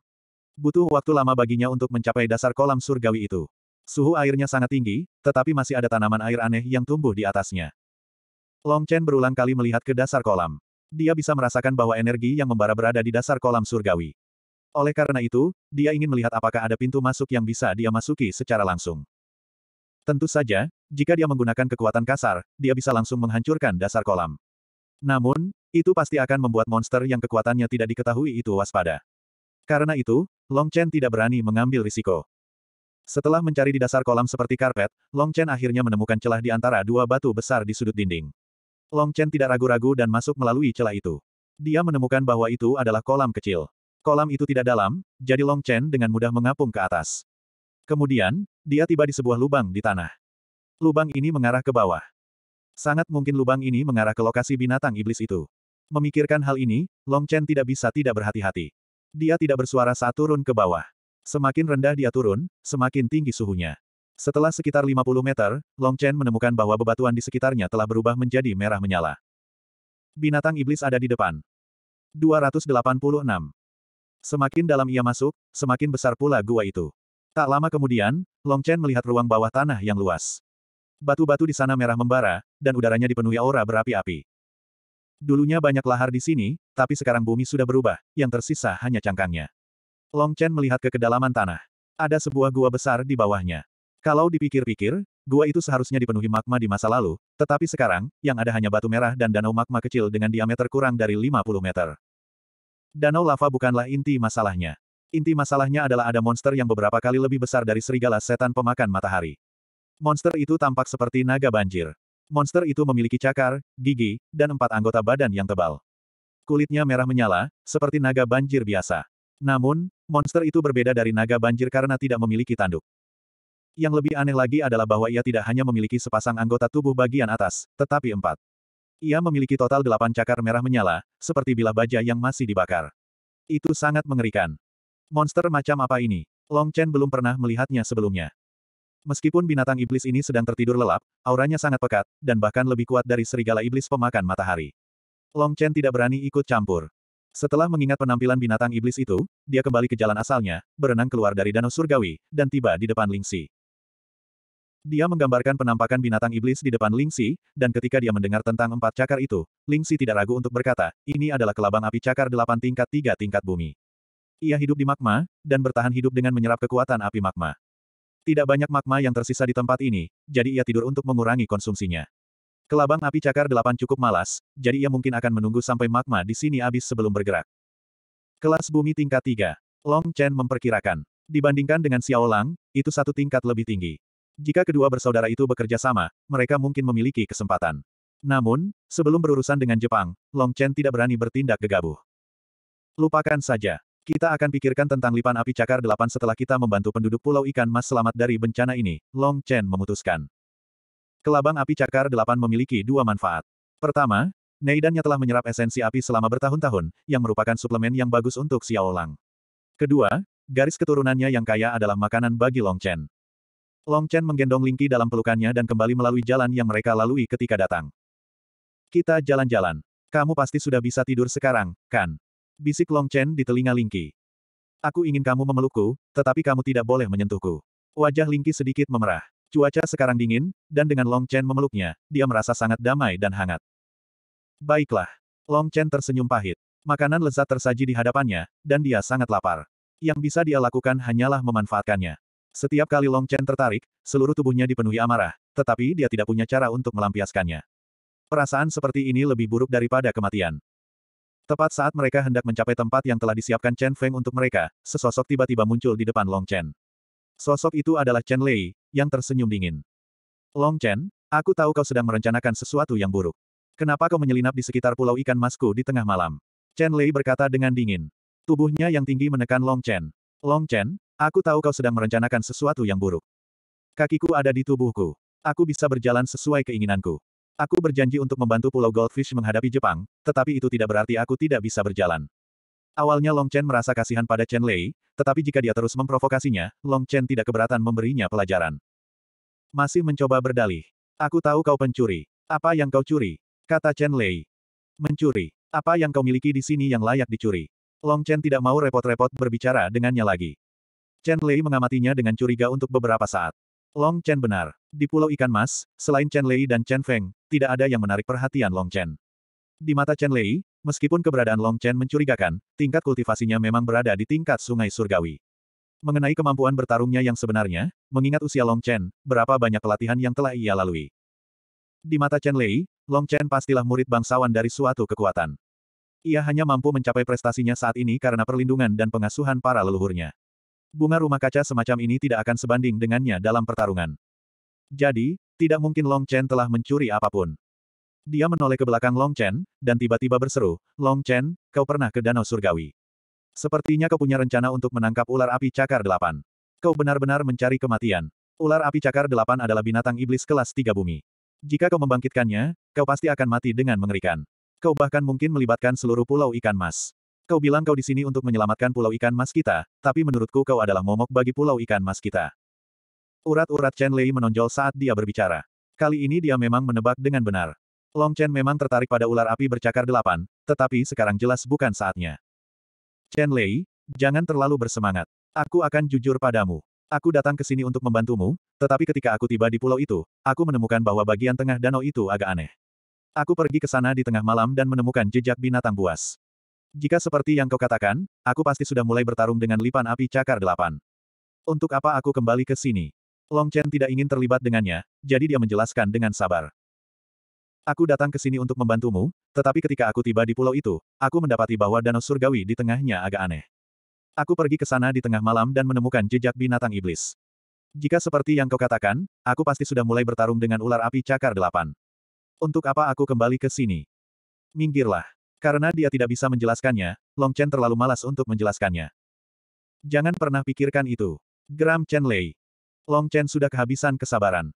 Dia baru saja akan menyerahkan Lingki kepada Xiaolang untuk memberi pelajaran pada si idiot itu ketika tubuh Xiaolang tiba-tiba membesar dan berubah menjadi serigala iblis pemakan matahari. Dengan kecakapan tempur kelas bumi tingkat 2, tidak butuh waktu lama bagi Chen Lei yang ketakutan untuk diinjak-injak. Aura berat dan mata tajam serigala iblis pemakan matahari membuat bulu kuduk Chen Lei berdiri tegak. Dia benar-benar tidak menyangka bahwa hewan peliharaan Long Chen, Xiaolang, sebenarnya adalah binatang iblis kelas bumi. Terlebih lagi, binatang itu jelas lebih dari sekadar peringkat satu. Ingat, Aku punya kesabaranku sendiri. Aku di sini untuk membantu Pulau Ikan Mas, bukan untuk diganggu olehmu. Kalau kau membuatku marah, aku tidak keberatan membunuhmu. Long Chen berjalan ke sisi Chen Lei dan mengucapkan beberapa patah kata sebelum pergi bersama Lingqi. Xiao Lang menggunakan cakarnya yang tebal untuk menghantam Chen Lei ke tanah. Seteguk api hitam keluar dari mulutnya. Suhu dingin api hitam membuat rambut Chen Lei berdiri tegak, dan dia hampir mati lemas. Untungnya, Xiao Lang telah menyingkirkan api leluhur iblis sembilan ketenangan. Namun, peringatan Xiaolang membuat Chen Lei membeku di tempat. Setelah 15 menit penuh, dia merangkak bangkit dari tanah. Matanya tampak muram saat dia melihat ke arah Long Chen menghilang. Dari mana Long Chen ini berasal? Dia benar-benar memiliki binatang iblis yang sangat menakutkan dan sangat setia padanya. Setelah berpikir lama, Chen Lei masih belum bisa memahaminya. Ia lalu menggelengkan kepalanya dan berkata tanpa daya, Huh, sekeras apa pun aku berusaha, tampaknya aku tidak dapat dibandingkan dengan keturunan dari kekuatan besar ini. Para tetua mereka dapat memberiku seekor binatang iblis acak dan mereka dapat menginjak-injakku di bawah kaki mereka. Jika Long Chen benar-benar ingin membantu, binatang iblis ini benar-benar dapat meningkatkan harapan Pulau Ikan Mas. Tampaknya aku tidak dapat melawannya lagi. Jika tidak, ayah pasti akan memarahiku dengan keras. Setelah kembali ke kamar, Xiao Lang pergi keluar untuk bermain. Seperti yang dijanjikan, Long Chen memeluk tubuh Lingqi yang hangat dan lembut, membiarkannya tidur dengan tenang. Tubuh menggoda di pelukannya membuat Long Chen dipenuhi kesedihan dan kemarahan. Dia ingin bergerak, tetapi dia merasa bahwa Ling Si terlalu jahat. Chen, kenapa kau menusuk perutku? Gumam Lingqi dengan linglung. Long Chen terkejut dan buru-buru menggerakkan pantatnya. Jari-jarimu sangat besar. Tangan Lingqi tanpa sadar terulur ke bawah. Sebelum Long Chen sempat bereaksi, dia telah meraihnya. Wajah Long Chen langsung memerah. Melihat wajah cantik wanita di pelukannya, dia mengembuskan napas seperti binatang buas. Cuacanya sangat panas. Lingki mengerang dan melepaskan tangannya. Dia berbalik ke samping dan melanjutkan tidurnya. Long Chen akhirnya menghela napas lega, dan panas di tubuhnya berangsur-angsur menghilang. Kapan hari-hari pahit ini akan berakhir, Long Chen memutar matanya dan menatap langit-langit tanpa daya. Dia tidak tahu apakah benar atau salah membiarkan Lingki menggunakan teratai giok langit misterius dan menjadi orang biasa. Tidak banyak. Untuk saat ini, Lingki bahagia, dan itu sudah cukup. Di Pulau Ikan Mas, Long Chen menghabiskan total lima hari. Selama lima hari ini, ia sesekali akan berkeliling Pulau Ikan Mas, melihat penduduk pulau bercocok tanam, dan membantu orang tua, lemah, wanita, dan anak-anak untuk pindah. Di Pulau Ikan Mas, selain Chen Lei, semua orang sangat menyukai pasangan abadi ini. Berita bahwa Long Chen adalah seorang kultivator tingkat sungai surgawi telah menyebar ke seluruh Pulau Ikan Mas dari Xiaoyu. Ketika mereka mengetahui bahwa Long Chen benar-benar ada di sini untuk membantu menangani suku Wu, semua orang sangat berterima kasih kepadanya. Mereka memberi Long Chen banyak hadiah, dan Lingqi menerima banyak pakaian, perhiasan langka, dan semua jenis makanan lesat. Ini membuatnya tersenyum sangat bahagia setiap hari. Mengenai masalah ular api cakar delapan, Long Chen sudah membicarakannya dengan Chen Feng. Dia berencana mencari kesempatan untuk menghadapi ular api cakar delapan setelah suku Wu menyerang. Chen Feng tidak keberatan dengan ini. Pikirannya sepenuhnya terfokus untuk menghadapi suku Wu. Sejujurnya, Chen Feng tahu bahwa Long Chen memiliki binatang iblis tingkat bumi yang dapat dengan mudah mengalahkan Chen Lei. Namun, ada total dua ahli di tingkat kedua tingkat sungai surgawi di antara suku Wu. Dalam menghadapi kematian, penduduk Pulau Ikan Mas tidak takut. Darah mereka mendidih, dan mereka telah mengasah senjata tajam mereka. Mereka menunggu kedatangan binatang suku Wu sehingga mereka dapat memulai pertempuran hidup dan mati. Mereka melindungi orang tua, lemah, wanita, dan anak-anak, serta tanah yang ditinggalkan oleh leluhur mereka. Karena itu, mereka tidak punya pilihan selain menang atau mati. Tidak ada jalan keluar lain. Saat mereka sedang bersiap, suku Wo akhirnya tiba. 287. Suku-suku di Pulau Ikan Emas telah menempatkan banyak mata-mata di sekitar pulau itu. Selama ada pergerakan dari suku Wu yang tidak jauh dari sana, mereka akan segera diberitahu. Sejak beberapa hari yang lalu, para wanita tua dan lemah, serta anak-anak dari Pulau Ikan Emas telah dipindahkan ke gua yang telah mereka gali. Bahkan jika suku Wu menyisir seluruh pulau ikan emas, tetap saja akan sulit bagi mereka untuk menemukan pintu masuk ke gua tersebut. Di bawah ancaman kematian, tidak seorang pun berani bermain-main. Adapun orang-orang kuat dari suku itu, mereka semua siap untuk bertempur.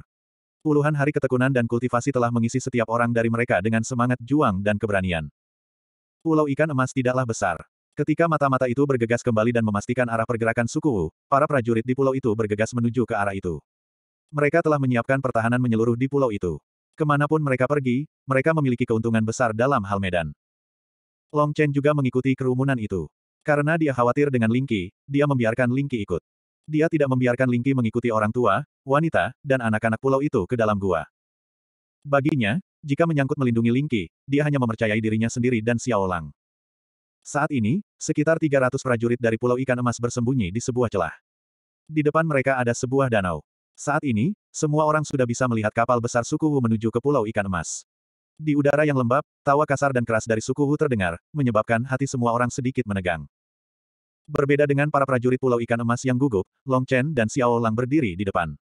Penguasa Pulau Ikan Emas, Chen Feng, dan putranya, Chen Lei, juga ada di sini. Chen Lei tidak pernah menyukai Long Chen. Ia merasa Chen Feng terlalu sopan padanya. Namun, Long Chen tidak melakukan apa pun sebelum pertempuran di Pulau Ikan Emas. Hal ini membuat Chen Lei, yang memiliki banyak keluhan terhadapnya, tidak dapat mengatakan apa pun. Kita lihat saja nanti siapa yang bisa membunuh lebih banyak musuh. Apa kau benar-benar berpikir kau bisa bersaing denganku, seorang kultivator Heavenly River Tier dengan pengalaman bertarung lebih dari 20 tahun? Kata Chen Lei dengan kesal sambil menatap Long Chen yang tenang. Tentu saja, saudara Chen Lei punya lebih banyak. Aku hanya seorang pemula. Bagaimana mungkin aku berani membandingkannya dengan saudara Chen Lei? Long Chen terkekeh. Dia tidak mau repot-repot bersaing dengan keledai bodoh ini. Di matanya, setiap mata anggota klan Goldfish Island dipenuhi dengan semangat juang dan keberanian. Meskipun mereka tahu bahwa pihak lain akan sulit dikalahkan, mereka tidak menunjukkan sedikit pun rasa takut. Long Chen akhirnya melihat apa artinya menghadapi kematian dengan tenang. Semua orang, tidak ada yang namanya ketundukan dan kesabaran dalam kamus kami. Orang Jepang kejam. Jika Pulau Ikan Mas diperintah oleh mereka, kami dan keturunan kami akan hidup di bawah tirani mereka selama beberapa generasi mendatang. Kami akan menderita karena mereka dan hidup seperti anjing. Chen Feng mengerutkan kening dalam-dalam. Ia berhenti sejenak, lalu merendahkan suaranya dan berkata dengan nada serius, demi mencegah anak-anak dan wanita kita dipermalukan, tak seorang pun boleh mundur dari pertempuran ini. Tanah ini adalah hadiah paling berharga yang diberikan nenek moyang kita. Ini adalah pulau ikan mas tempat kita akan hidup dan berkembang untuk generasi mendatang. Hari ini, pulau ini akan mengalami bencana besar. Apakah kita dapat bertahan hidup dari krisis ini atau tidak akan tergantung pada apakah semua orang di sini takut mati atau tidak. Ingat, membunuh satu orang itu sepadan. Membunuh dua orang itu sepadan. Membunuh sepuluh orang itu sepadan. Chen Feng, yang biasanya tegas dan serius, tiba-tiba mengumpat, memecah suasana tegang. Terlihat bahwa semangat juang di wajah semua orang menjadi semakin kuat.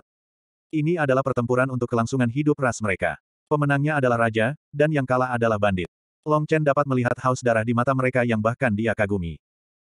Chen tua, jangan terlalu khawatir. Lihat, tinggi orang Jepang bahkan tidak bisa mencapai dada prajurit kita. Bagaimana mungkin sekelompok kurcaci bisa menandingi kita? Long Chen tersenyum. Orang Jepang pada umumnya bertubuh pendek dan tampak menyedihkan. Semua orang di Pulau Goldfish tahu itu. Long Chen, aku benar-benar harus berterima kasih padamu kali ini. Jika kita kalah nanti, kau harus melarikan diri dulu. Bawalah sebanyak mungkin orang bersamamu. Tinggalkan sedikit garis keturunan untuk Pulau Ikan Mas.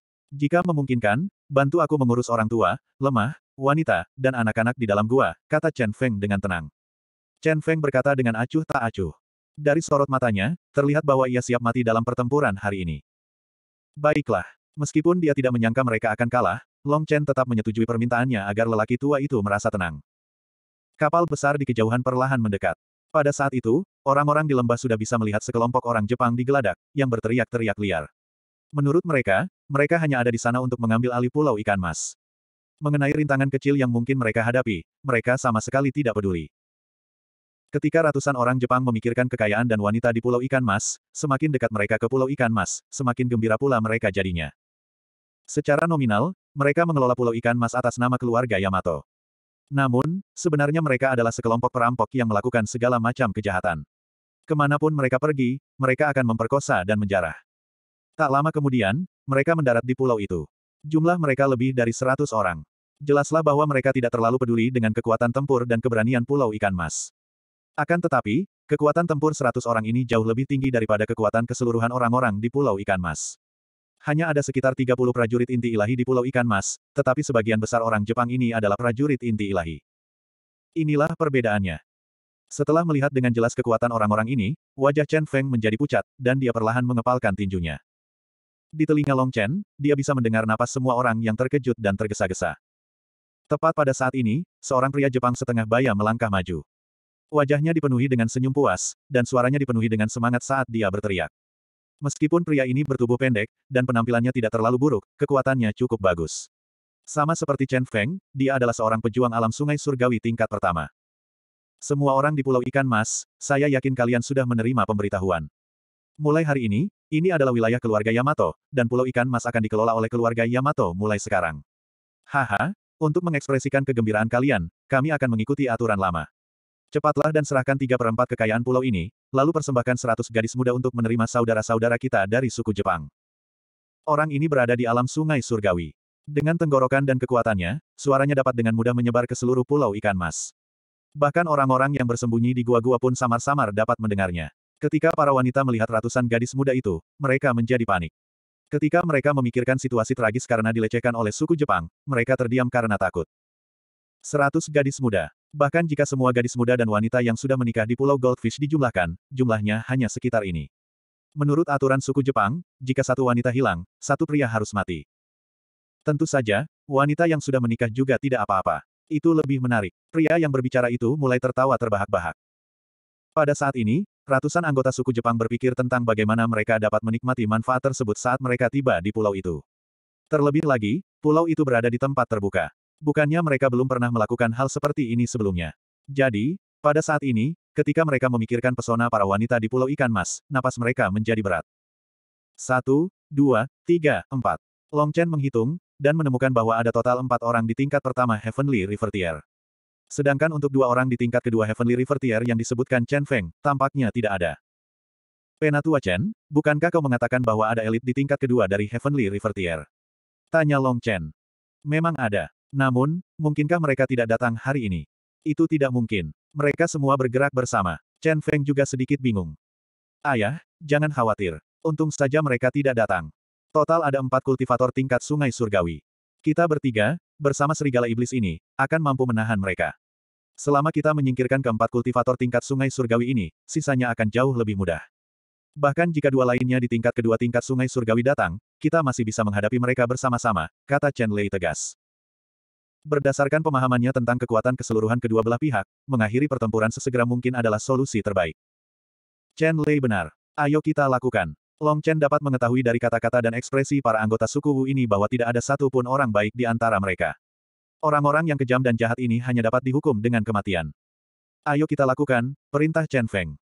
Tunggu. Yang lain, jangan bergerak. Kami akan bergerak. Long Chen melihat bahwa Chen Feng hendak melancarkan serangan habis-habisan, dan dia buru-buru menghentikannya. Kenapa? Tanya Chen Feng ragu. Penatua Chen, pertempuran sesungguhnya adalah bentrokan kekuatan tingkat tinggi. Jika kita membiarkan mereka bergerak, itu hanya akan menambah jumlah korban. Kita bisa menggunakan provokasi untuk membuat mereka keluar. Bukankah itu akan berhasil? Long Chen tersenyum tenang. Lebih mudah diucapkan daripada dilakukan. Chen Lei mengerutkan bibirnya, menatap Long Chen. Long Chen tidak peduli padanya. Pada saat ini, setelah menunggu cukup lama, para anggota suku Wu menyadari bahwa pihak lain tidak mengirimkan wanita cantik atau kekayaan. Mereka saling memandang, lalu mulai tertawa dan berbicara dalam bahasa yang aneh. Satu-satunya hal yang dapat mereka pastikan adalah bahwa ekspresi gila di wajah mereka semakin intens. Kalau begitu, mari kita bantai mereka, kata salah satu pendekar tingkat sungai surgawi. Pada saat ini, tiga sosok tiba-tiba melompat keluar dari depan dan dengan cepat tiba di depan para anggota suku Wu. Suku Wu terkejut ketika mereka melihat tiga seniman bela diri tingkat sungai surgawi. Namun, ketika mereka ingat bahwa mereka memiliki lebih banyak orang di pihak mereka, mereka mendapatkan kembali kepercayaan diri mereka dan berkata dengan arogan, kalian bertiga, apakah kalian di sini untuk memberikan kekayaan dan kecantikan? Serahkan kekayaan itu. Di mana para wanita cantik? Maaf, tapi kami di sini bukan untuk mengantarkan wanita cantik. Kami di sini untuk mengirimmu ke neraka.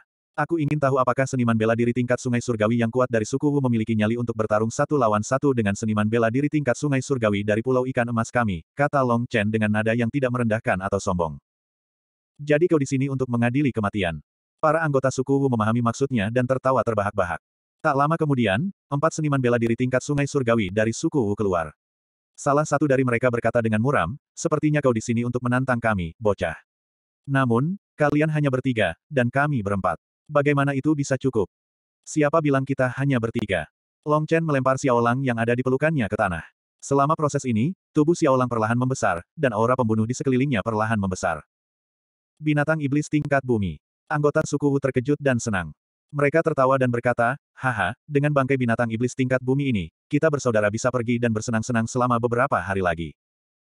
Dilihat dari penampilannya, bahkan jika ada binatang iblis tingkat bumi, mereka tidak akan menganggap serius Long Chen dan yang lainnya. 288. Babi bodoh seperti kalian ingin menantang martabat keluarga Dewa. Sepertinya ada yang salah dengan otak kalian.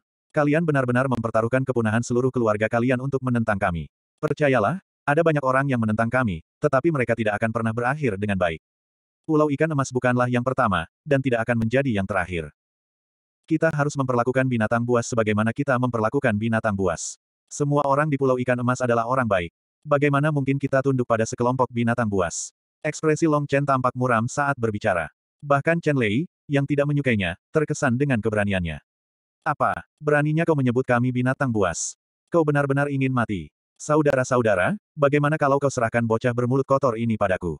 Kata salah satu anggota suku ikan tingkat sungai langit yang tampak lebih muda. Ini berarti mereka telah menerima tantangan Long Chen. Hati-hati. Chen Feng memberi instruksi pada Long Chen. Kemudian, dia mengikuti lawannya ke samping, memberi jarak di antara mereka. Sudah lama aku tidak berurusan dengan binatang buas. Biar aku yang menangani serigala aneh ini, kata salah satu anggota suku ikan tingkat sungai langit. Long Chen tidak dapat menahan rasa duka untuknya. Dengan sangat cepat, hanya satu orang yang tersisa di depan Long Chen. Semua orang menyaksikan pertempuran di keempat sudut medan perang dimulai. Meskipun jumlah elit di Pulau Ikan Emas melebihi ekspektasi suku ikan, ini bukan apa-apa bagi mereka. Mereka sangat percaya diri dengan kemampuan mereka sendiri. Orang-orang seperti Long Chen tidak akan mampu menggoyahkan kepercayaan diri mereka. Long Chen mencengkeram tombak naga birunya sambil memperhatikan lawannya yang menatapnya dengan tatapan mengejek. Sungguh pemuda yang lembut. Tahukah keberapa banyak pemuda setampan dirimu yang telah tewas di tanganku? Oh, tidak, di bawah selangkanganku. Menurutmu betapa hebatnya jika aku menelanjangimu dan merawat bokongmu dengan baik. Kata suku ikan setengah baya itu sambil mengamati Long Chen. Biasanya aku akan meretakkan pantat mereka dan membiarkan mereka mati kehabisan darah. Berani sekali kau memprovokasi keluarga Daiwa hari ini. Kau pantas menerima hukuman seperti ini. Mata Long Chen menjadi gelap saat dia mendengarkannya. Sialan, orang-orang ini tidak hanya memperkosa dan merampok, tetapi mereka juga bejat. Apa yang mereka lakukan benar-benar biadab. Bagi pria sejati seperti Long Chen, hal semacam ini benar-benar tidak dapat ditoleransi. Setelah mendengar apa yang dikatakan pria itu, semua orang tahu bahwa dia akan melakukan pertunjukan yang bagus dengan Long Chen di depan semua orang, jadi mereka semua mulai membuat keributan. Long Chen sudah membenci bajingan-bajingan ini, tetapi sekarang dia bahkan lebih marah. Tanpa mengucapkan sepatah kata pun, dia tiba-tiba bergegas maju, dan tanpa ragu-ragu, tombak naga biru terbang ke arah pria itu. Teknik tempur naga biru, naga melambung ke surga ke-9. Begitu dia bergerak, Long Chen menggunakan jurus pembunuh terkuatnya. Tentu saja, dia tidak menggunakan transformasi jiwa naga. Namun, kekuatan bertarungnya bukan hanya untuk pamer. Jiwa naga hijau besar menyerbu ke arah ahli bela diri setengah baya itu bahkan sebelum dia sempat bereaksi. Serangan yang mengerikan. Bagaimana ini bisa terjadi? Awalnya, dia masih linglung. Namun, ketika dia melihat Long Chen menggunakan teknik tempur naga biru, dia benar-benar tercengang. Pada saat kritis, tubuhnya yang kekar bergegas keluar. Tiba-tiba, jejak tinju besar berubah menjadi harimau, dan bertabrakan dengan teknik tempur naga biru milik Long Chen. Yang satu siap dan meledak-ledak, sementara yang lain bertahan secara pasif. Selain itu, kekuatan bertarung Long Chen jauh lebih tinggi daripada lawannya. Bahkan jika dia tidak menggunakan transformasi jiwa naganya, ki sejatinya masih empat kali lebih kuat. Dengan jarak yang sangat jauh di antara mereka, kerumunan itu terkesiap kaget. Long Chen menggunakan gerakan sederhana dan langsung mengirim pria parubaya itu terbang, meninggalkan seteguk besar darah di udara. Tanpa berkata apa-apa, Long Chen melanjutkan dengan wajah tanpa ekspresi. Dia melambaikan tombak naga biru dan memotong leher lawannya yang terluka parah. Tiba-tiba, sebuah kepala terbang menuju tempat berkumpulnya suku Wu. Mayat tanpa kepala itu menyemburkan darah dan jatuh ke tanah. Dari awal pertempuran hingga Long Chen membunuh lawannya, hanya beberapa napas yang berlalu. Baik suku Wu maupun penduduk Pulau Ikan Emas yang masih bersembunyi di pegunungan, mereka semua menatap pemuda yang memegang tombak naga biru dan benar-benar tercengang. Mereka tahu bahwa Long Chen kuat, tetapi mereka tidak menyangka dia akan sekuat ini. Hal ini terutama berlaku untuk Chen Lei dan Chen Feng. Mereka sekarang sedang dalam pertempuran yang melelahkan dengan lawan mereka, dan akan sulit untuk menentukan pemenang dalam waktu singkat. Namun, Long Chen telah membunuh lawannya sebelum Xiao Lang bisa melakukannya. Bukankah ini berarti Long Chen sedikit lebih kuat dari Xiao Lang?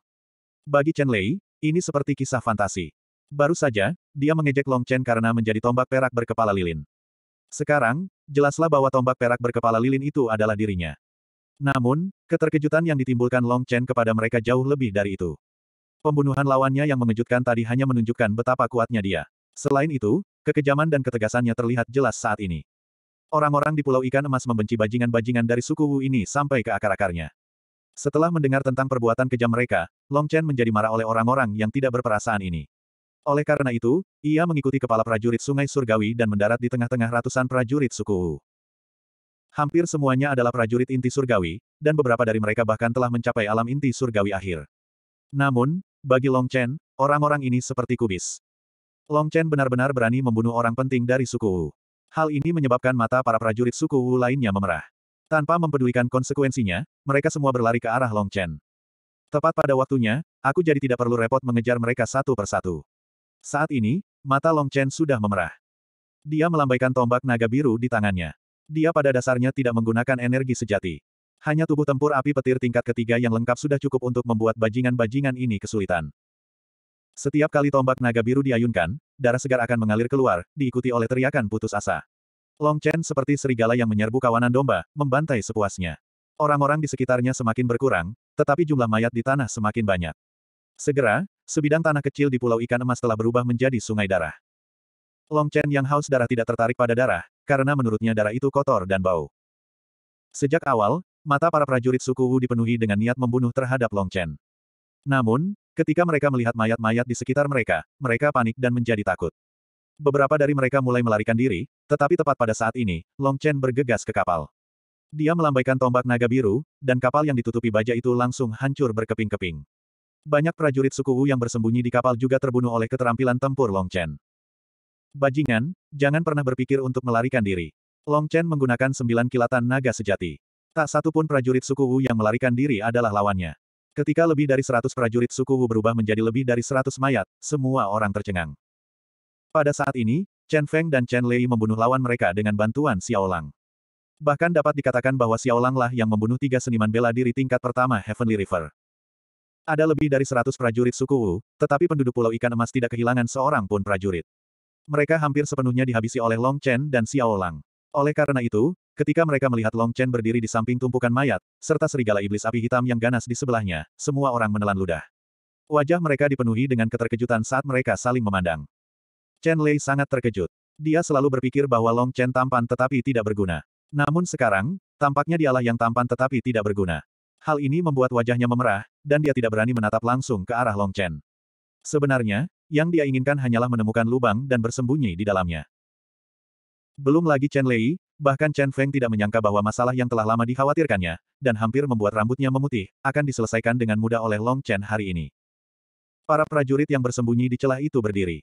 Mata mereka penuh dengan rasa hormat saat mereka menatap Long Chen. Sebelumnya, mereka telah mengungkapkan rasa terima kasih mereka atas kebaikan Long Chen. Sekarang, citra Long Chen telah terukir dalam jiwa mereka.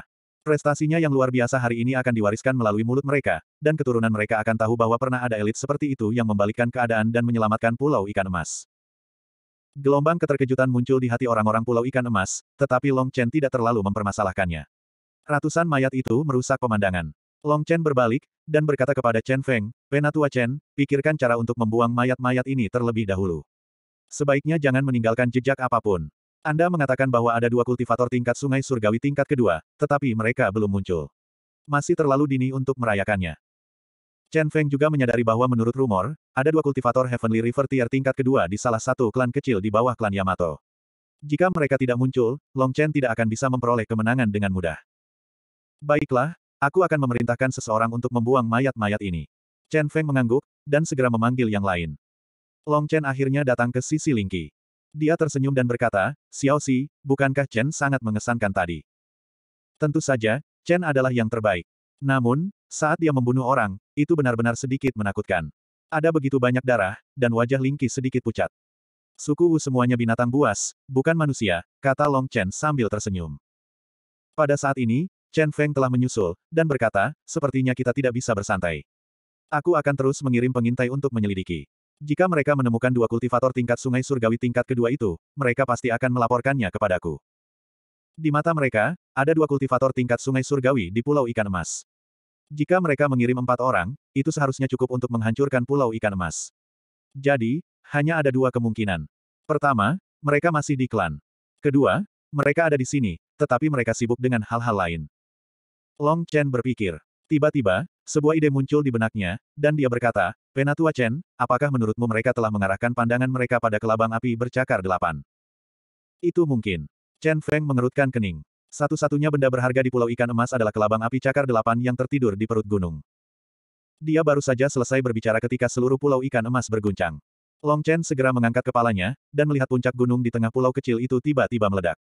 Asap dan debu memenuhi langit, dan seekor binatang iblis merah menyala tiba-tiba merangkak keluar dari dalam. 289. Binatang iblis merah menyala raksasa yang merangkak keluar dari perut gunung itu jelas merupakan binatang iblis tingkat tiga bumi, ular api cakar delapan. Awalnya ia tertidur lelap, tetapi sekarang ia mengeluarkan serangkaian auman yang menggetarkan seluruh pulau ikan mas. Jelaslah bahwa ia sangat marah. Samar-samar, Long Chen bisa melihat dua sosok kecil menyerang ular api cakar delapan. Keduanya pastilah dua kultivator Heavenly River tier tingkat kedua dari suku Wu. Mereka benar-benar punya rencana pada ular api cakar delapan. Dua kultivator Heavenly River tier tingkat kedua berani punya rencana pada binatang iblis kelas bumi tingkat ketiga.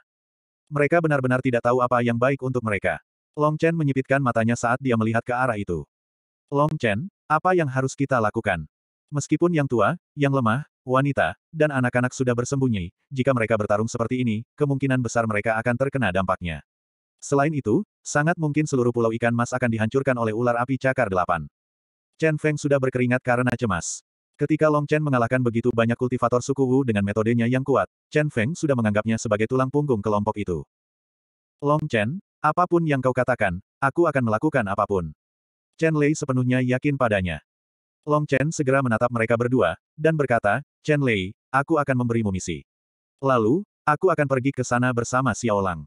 Aku dapat menjamin bahwa mereka tidak akan menyakiti siapa pun di Pulau Ikan Mas atau siapa pun. Misi apa? Chen Lei bertanya dengan tergesa-gesa. Bantu aku melindunginya. Long Chen menunjuk Lingki dan melanjutkan, tidak banyak waktu tersisa. Bantu aku melindunginya. Meskipun tidak ada bahaya, kamu tidak boleh bersantai sedikit pun. Mengenai masalah lainnya, aku akan membantumu mengatasinya. Xiao Lang, ayo pergi.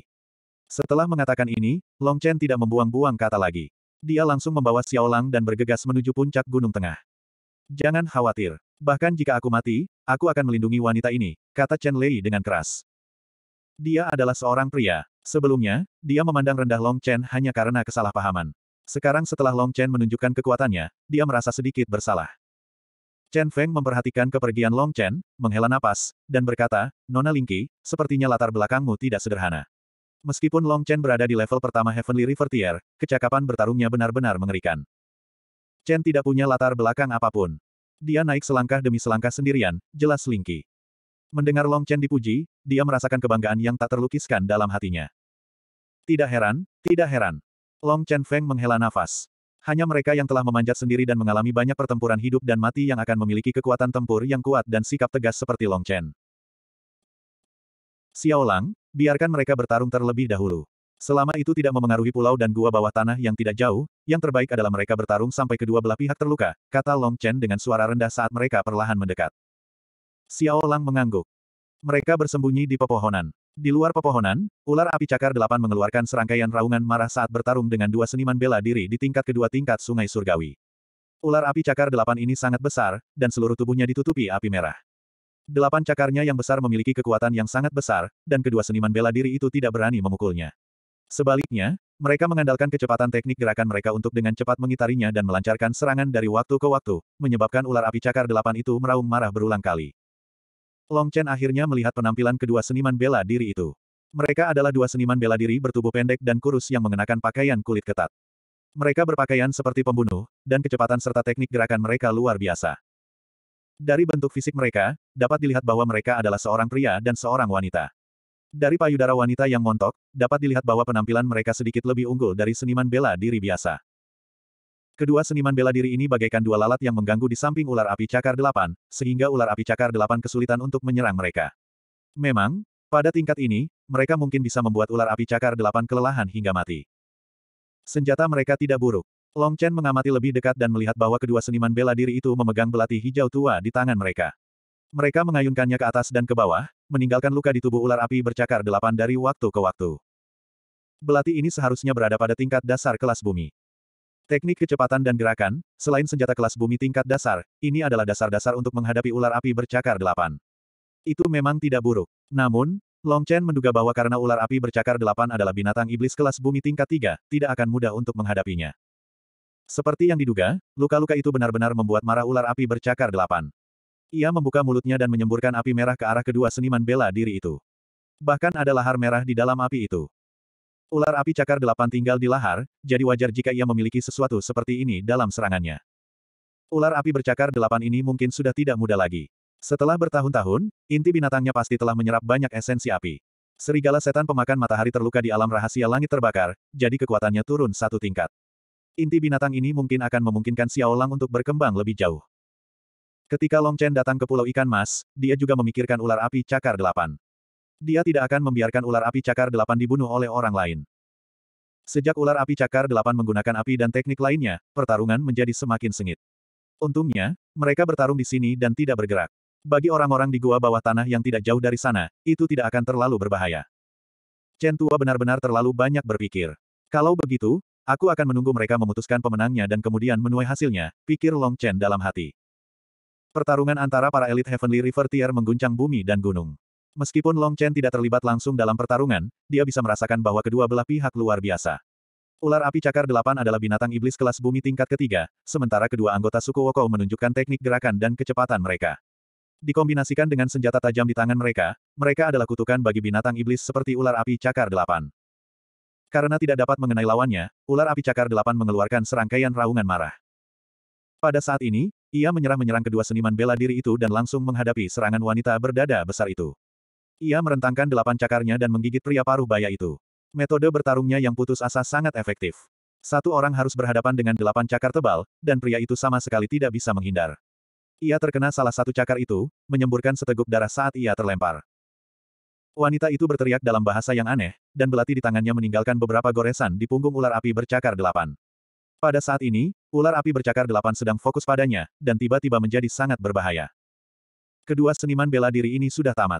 Dari luka yang dialami pria itu, Long Chen dapat melihat bahwa keunggulan mereka adalah kecepatan dan kerja sama tim. Sayangnya, ular api bercakar delapan tidak bodoh, dan ia dengan paksa menghancurkan kerja sama tim mereka. Ular api cakar delapan bergerak dengan liar dan tanah bergetar hebat. Pada saat ini, Long Chen tiba-tiba mendengar teriakan. Dia terkejut dan buru-buru melihat ke arah teriakan itu. Tidak jauh dari sana, dia melihat seorang gadis kecil merangkak keluar dari lembah. Melihat binatang iblis besar itu berguling dan mengaum, dia langsung ketakutan. Gadis itu adalah Yu kecil. Brengsek. Long Chen tahu bahwa Little Yu, yang tinggal di dalam gua, pasti telah keluar karena suara keras di luar. Namun, Ketika dia melihat tubuh besar ular api bercakar delapan, dia benar-benar ketakutan. Ular api cakar delapan memiliki pendengaran yang tajam. Saat menyerang suku Wu, ia telah melihat Little Yu. Baginya, makhluk kecil semacam ini adalah yang paling menakutkan. Oleh karena itu, ia langsung menyemburkan api ke arah Little Yu. Jika Little Yu terkena, ia pasti akan mati. Pada saat ini, Long Chen tidak bisa lagi menyembunyikan apa pun. Dia buru-buru melompat keluar dari hutan dan berlari ke arah Little Yu. Sebelum api mencapainya, dia sudah memeluk Little Yu dan melompat ke udara, menghindari api. Kembalilah sekarang dan tinggallah di sana. Kalau tidak, aku akan membunuhmu. Ekspresi ganas Long Chen hampir membuat Little Yu menangis. Namun, dia tahu bahwa Long Chen telah menyelamatkannya. Di hadapan binatang iblis yang mengerikan seperti itu, tentu saja, dia tidak berani tinggal di sana, jadi dia buru-buru kembali. Namun, Long Chen dan Xiao Lang terbongkar. Saat menyerang gadis suku Wu dengan seluruh kekuatannya, ular api cakar delapan telah memperhatikan Long Chen dan Xiao Lang. Dibandingkan dengan kedua gadis suku Wu, ular api cakar delapan sangat merasa bahwa kedua orang ini merupakan ancaman yang lebih besar baginya. Di mata ular api cakar delapan, semua orang tampak sama dan mereka semua bersekongkol. Ketika Long Chen dan Xiao Lang muncul, ia segera menyerah pada lawan-lawannya. Ia mengambil napas dalam-dalam dan melambaikan delapan kakinya yang kuat, menerkam ke arah Long Chen. Gadis suku Wu menghela napas lega dan bergegas berlari ke arah pria yang terluka itu. Jika Long Chen bertarung melawan ular api cakar delapan, situasinya akan terbalik. Pada saat itu, merekalah yang akan diuntungkan dari pertarungan itu. Tentu saja, Long Chen tidak akan membiarkan ini terjadi. Xiao Lang, berapa lama kau bisa bertahan di hadapan ular api cakar delapan ini? Tanya Long Chen. Mata Xiao Lang dipenuhi dengan ketidakpuasan. Long Chen tahu apa yang dimaksudnya. Dia tampaknya berpikir bahwa dia harus setara dengan ular api bercakar delapan. Xiao Lang tidak pandai membual, jadi Long Chen mempercayainya. Aku akan menyerahkan ular api cakar delapan kepadamu. Aku akan membunuh wanita ini terlebih dahulu, lalu fokus membantumu. Setelah mengatakan ini, Long Chen tiba-tiba pergi untuk menghalangi gadis suku Wu, sementara Mo Xiaolang langsung berubah menjadi bentuk pertempurannya. Meskipun serigala setan pemakan matahari tidak sebesar ular api bercakar delapan, auranya tidak sedikit pun lebih lemah. Siapa ini? Gadis suku Wu bertanya dengan waspada ketika dia melihat Long Chen telah menghentikannya alih-alih melawan ular api cakar delapan. Dia hanya menghela napas lega ketika dia melihat Long Chen hanya berada di level pertama dari tingkat sungai surgawi. Orang yang akan mengambil nyawamu, kata gadis suku Wu dengan tenang. Long Chen berkata dengan lemah. Sambil berbicara, dia mengeluarkan Azure Dragon Halberd dan menyelesaikan transformasi jiwa naganya.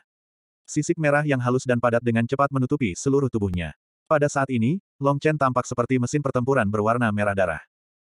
Seorang kultivator tingkat pertama dari Heavenly River Tier ingin mengambil nyawaku. Kata gadis suku Wu itu sambil tersenyum menawan. Aku sudah merenggut nyawa anggota suku Wu lainnya. Bagaimana menurutmu? Kata Long Chen sambil tersenyum. Mendengar hal itu, raut wajah gadis suku Wu langsung berubah gelap. Kau benar-benar mencari kematian. Setelah mengatakan ini, dia tiba-tiba menyerang Long Chen. 290. Teknik gerakan Long Chen masih merupakan sembilan kilatan naga sejati, yang berada pada level tinggi level mendalam. Long Chen menduga bahwa teknik gerakan wanita itu seharusnya berada pada level dasar level bumi. Namun, penggunaan sembilan kilatan naga sejati oleh Long Chen telah mencapai puncak kesempurnaan. Ketika ia menggunakan teknik gerakan ini, ia tidak lebih lemah dari lawannya. Lebih jauh lagi, dalam hal kecepatan, ia bahkan sedikit lebih cepat dari lawannya. Melihat ini, Wanita gemuk itu berseru kaget, kamu hanya berada di level pertama Heavenly River Tier, tetapi kamu mampu menggunakan teknik gerakanmu ke level seperti itu. Bagaimana ini mungkin? Ini bukan bakat yang hanya bisa dimiliki oleh suku Wu. Anjing jenis apakah suku Wu? Long Chen tersenyum dingin. Xiao Lang sudah bertarung dengan ular api cakar delapan. Agar punya lebih banyak waktu untuk menghadapi ular api cakar delapan, Long Chen tidak mau repot-repot membuang kata-kata dengan wanita ini. Tombak naga biru di tangannya langsung menyerangnya. Transformasi jiwa naga dan tombak naga biru. Serangan ki sejati Long Chen telah melampaui lawannya. Tombak-tombakmu seharusnya adalah senjata dewa tingkat bumi tingkat menengah, kan? Setelah belatinya dihempaskan oleh Long Chen, wanita itu menatap tombak naga biru milik Long Chen, matanya dipenuhi dengan keserakahan. Long Chen tahu bahwa pria dan wanita ini harus mati. Kalau tidak, cepat atau lambat mereka akan membawa masalah ke Pulau Ikan Emas. Teknik pertempuran naga biru, pertempuran naga di galaksi. Teknik pertempuran tingkat dasar bumi ini dilepaskan, dan seketika, seberkas cahaya yang tak terhitung jumlahnya melesat keluar dengan dahsyat ke arah wanita suku serigala. Wanita suku serigala melihat bahwa Long Chen hanya berada di tingkat pertama tingkat sungai surgawi, namun ia mampu melepaskan serangan yang begitu kuat. Dalam hatinya, ia telah lama menganggap Long Chen sebagai lawan yang setara. Teknik rahasia, duri matahari. Tanpa ragu, belati hijau tua di tangan wanita itu berputar cepat, dan cahaya dingin yang menyala-nyala menusuk dahi Long Chen. Pada saat yang sama, gerakan kakinya berubah dengan cepat. Menggunakan gerakan kecil untuk menghadapi tombak Long Chen memang sangat cerdik, tetapi Long Chen tidak akan membiarkannya berbuat semaunya. Menurut sudut pandang wanita itu, Long Chen menggunakan senjata panjang seperti tombak, sementara dia menggunakan senjata pendek. Jadi, selama Long Chen membiarkannya mendekat, Long Chen akan tamat. Kekuatan Dragon Battles in the Galaxy dan serangan wanita itu saling bertabrakan. Karena perbedaan teknik gerakan mereka, tidak ada yang berhasil mengenai yang lain. Namun, wanita itu memanfaatkan kesempatan ini untuk tetap dekat dengan Long Chen. Dia tersenyum dingin, dan belati di tangannya menusuk pinggang Long Chen dengan ganas. Tentu saja, Long Chen bisa merasakan aura tajam itu. Tanpa berkata apa-apa lagi, dia melepaskan salah satu tangannya, dan jari pedang roh iblis yang bersinar muncul tepat di depannya. Cahaya pedang yang cemerlang itu tidak hanya menghalangi tusukan wanita itu, tetapi juga langsung memaksanya mundur. Long Chen tidak membiarkannya lolos begitu saja. Dia dengan cepat melepaskan beberapa jari pedang roh iblis secara berurutan, memaksa wanita Jepang itu mundur. Ketika wanita Jepang itu akhirnya sadar kembali dan dengan paksa menembus salah satu jari pedang roh iblis Long Chen, tawa dingin Long Chen terdengar di telinganya. Teknik pertempuran naga biru, naga melintasi sembilan surga. Dengan kekuatan tingkat pertama Heavenly River Tier, Long Chen dengan paksa menggunakan teknik pertempuran tingkat menengah Earth. Namun, ia mampu sepenuhnya melepaskan kekuatan teknik pertempuran ini. Pada saat itu, langit berubah warna, dan jiwa naga hijau gila itu, dengan kekuatan langit dan bumi, menerkam ke arah wanita itu. Ketika tiba-tiba melihat serangan sekuat itu, wanita itu hampir kehilangan harapan. Dia dengan panik menggunakan teknik gerakannya untuk melarikan diri, dan pada saat yang sama, dia menggunakan tekniknya untuk menahan jurus Long Chen, Dragon Soaring Through the Nine Heavens. Tiba-tiba, dia mendapat ide. Dia merobek bagian depan pakaiannya, dan seketika, sepasang payudara besar menyembul keluar. Payudara itu begitu besar hingga hampir membutakan Long Chen. Dia merobek bagian depan pakaiannya, dan buru-buru memasang ekspresi menyedihkan. Dia ingin menggunakan ini sebagai sinyal untuk memohon belas kasihan dari Long Chen. Long Chen agak terdiam. Meskipun benda di depannya adalah benda paling menggoda yang pernah dilihatnya, di hadapan kecantikan Lingqi, itu tidak lebih dari sekadar kentut. Long Chen merasa mual saat melihatnya, tetapi tangannya tidak berhenti bergerak. Tombak naga biru yang ganas langsung menusuk tubuh wanita itu, menghancurkan sepasang harta karunnya hingga tak dapat dikenali. Pada saat yang sama, kekuatan besar naga yang melonjak melalui sembilan surga langsung merenggut nyawanya. Bukankah dia seorang pria? Itulah satu-satunya pikiran yang muncul di benak wanita itu sebelum ia meninggal. Menurutnya, selama orang itu laki-laki, dia tidak akan mampu berbuat apa-apa menghadapi godaan sebesar itu. Memang, tidak banyak orang yang bisa bersikap kejam terhadap hal-hal terindah di dunia ini, tetapi Long Chen harus menjadi salah satunya. Dia sekarang berada di sisi Lingxi setiap hari, dan setelah melihat kesucian Lingxi yang membuat orang lain merasa malu dengan kehinaan mereka, segala hal tentang wanita lain tidak berbeda dari setumpuk kotoran di matanya. Setelah membunuh wanita ini, Long Chen tidak berhenti sama sekali. Dia membalikkan tombaknya dan menuju ke arah kelabang api cakar delapan. Pada saat ini, pertempuran antara serigala setan pemakan matahari dan kelabang api cakar delapan telah mencapai klimaks. Meskipun wanita dari suku matahari berada di level kedua dari tingkat sungai surgawi, kecakapan bertarungnya yang sebenarnya belum mencapai level Kaisar Yuan. Long Chen bahkan dapat membunuh Kaisar Yuan, jadi wanita dari suku matahari ini secara alami bukan apa-apa baginya. Pada saat ini, baik Long Chen maupun Xiao Lang, yang tidak mereka lihat adalah bahwa pria yang telah terluka oleh kelabang api bercakar delapan itu benar-benar mampu bangkit. Dia menatap mayat wanita itu, dan kebencian serta kebencian melonjak di matanya. Setelah melotot tajam ke arah Long Chen, dia akhirnya bersiap untuk melarikan diri dari Pulau Ikan Mas. Arah yang ditujunya adalah arah tempat Lingki berada. Pria ini juga telah mendengar apa yang dikatakan Long Chen kepada wanita dari suku matahari tadi. Dari sini, dia tahu bahwa Long Chen telah membunuh tim dari klannya. Tujuannya saat ini adalah untuk bergegas dan melihat-lihat. Mungkin dia bahkan bisa membunuh seseorang untuk membalas dendam atas kebencian yang mendalam hari ini. Long Chen dan Xiao Lang fokus menghadapi kelabang api cakar delapan. Setelah sekian banyak pertarungan, kelabang api cakar delapan kini menjadi anak panah yang siap melesat. Menelan dunia berdarah. Di bawah perlindungan Xiao Lang, Long Chen menggunakan jurus pembunuh mutlak ini. Keajaiban ini bisa dikatakan sebagai kombinasi terbaik antara dirinya dan Xiao Lang. Setelah Long Chen menggunakan Engulfing Blood World, Xiao Lang tidak terpengaruh, dan dengan demikian dapat menunjukkan keuntungan yang lebih besar. Kelabang api cakar delapan adalah binatang iblis tingkat tiga tingkat bumi. Secara umum, dunia darah yang menelan milik Long Chen tidak akan memberikan pengaruh yang besar padanya. Paling-paling, itu hanya akan mampu menghalangi gerakannya. Namun, dalam proses pertarungan dengan seniman bela diri suku matahari, kelabang api cakar delapan telah menderita luka-luka ringan, dan dalam pertempuran dengan serigala iblis pemakan matahari, ia telah menderita banyak goresan. Luka-luka ini ada di sekujur tubuhnya. Selama periode ini, di bawah pengaruh Engulfing Blood World, darahnya berkumpul menuju Long Chen. Meskipun jumlahnya tidak banyak, jika ini berlanjut untuk waktu yang lama, lipan api bercakar delapan pasti akan mati karena kehabisan darah. Mengaum. Kelabang api cakar delapan mengeluarkan raungan marah. Ia merasa darahnya benar-benar berkurang, dan ia sudah menjadi gila. Matanya dipenuhi warna merah pekat, dan delapan cakarnya yang besar menari-nari dengan liar. Meskipun tidak mengenai apa pun, ia tetap menyebabkan gunung-gunung runtuh dan bumi retak. Xiao Lang, ini kesempatan bagus. Long Chen berteriak. Ketika Xiao Lang mendengar ini, dia tidak mengatakan apa-apa lagi. Dia bergegas ke tempat di mana kelabang api cakar delapan tidak dapat melihat, membuka mulutnya, dan segera, api hitam pekat langsung menerkam punggung kelabang api cakar delapan. Sembilan api leluhur iblis dunia bawah ini langsung meninggalkan lubang besar di punggung kelabang api cakar delapan. Daging dan darah di dalamnya berubah menjadi es hitam dan kemudian hancur. Kelabang api cakar delapan jelas tidak dapat bertahan hidup setelah kehilangan bagian tubuhnya yang begitu besar secara tiba-tiba, dan organ-organ dalamnya pun telah hilang.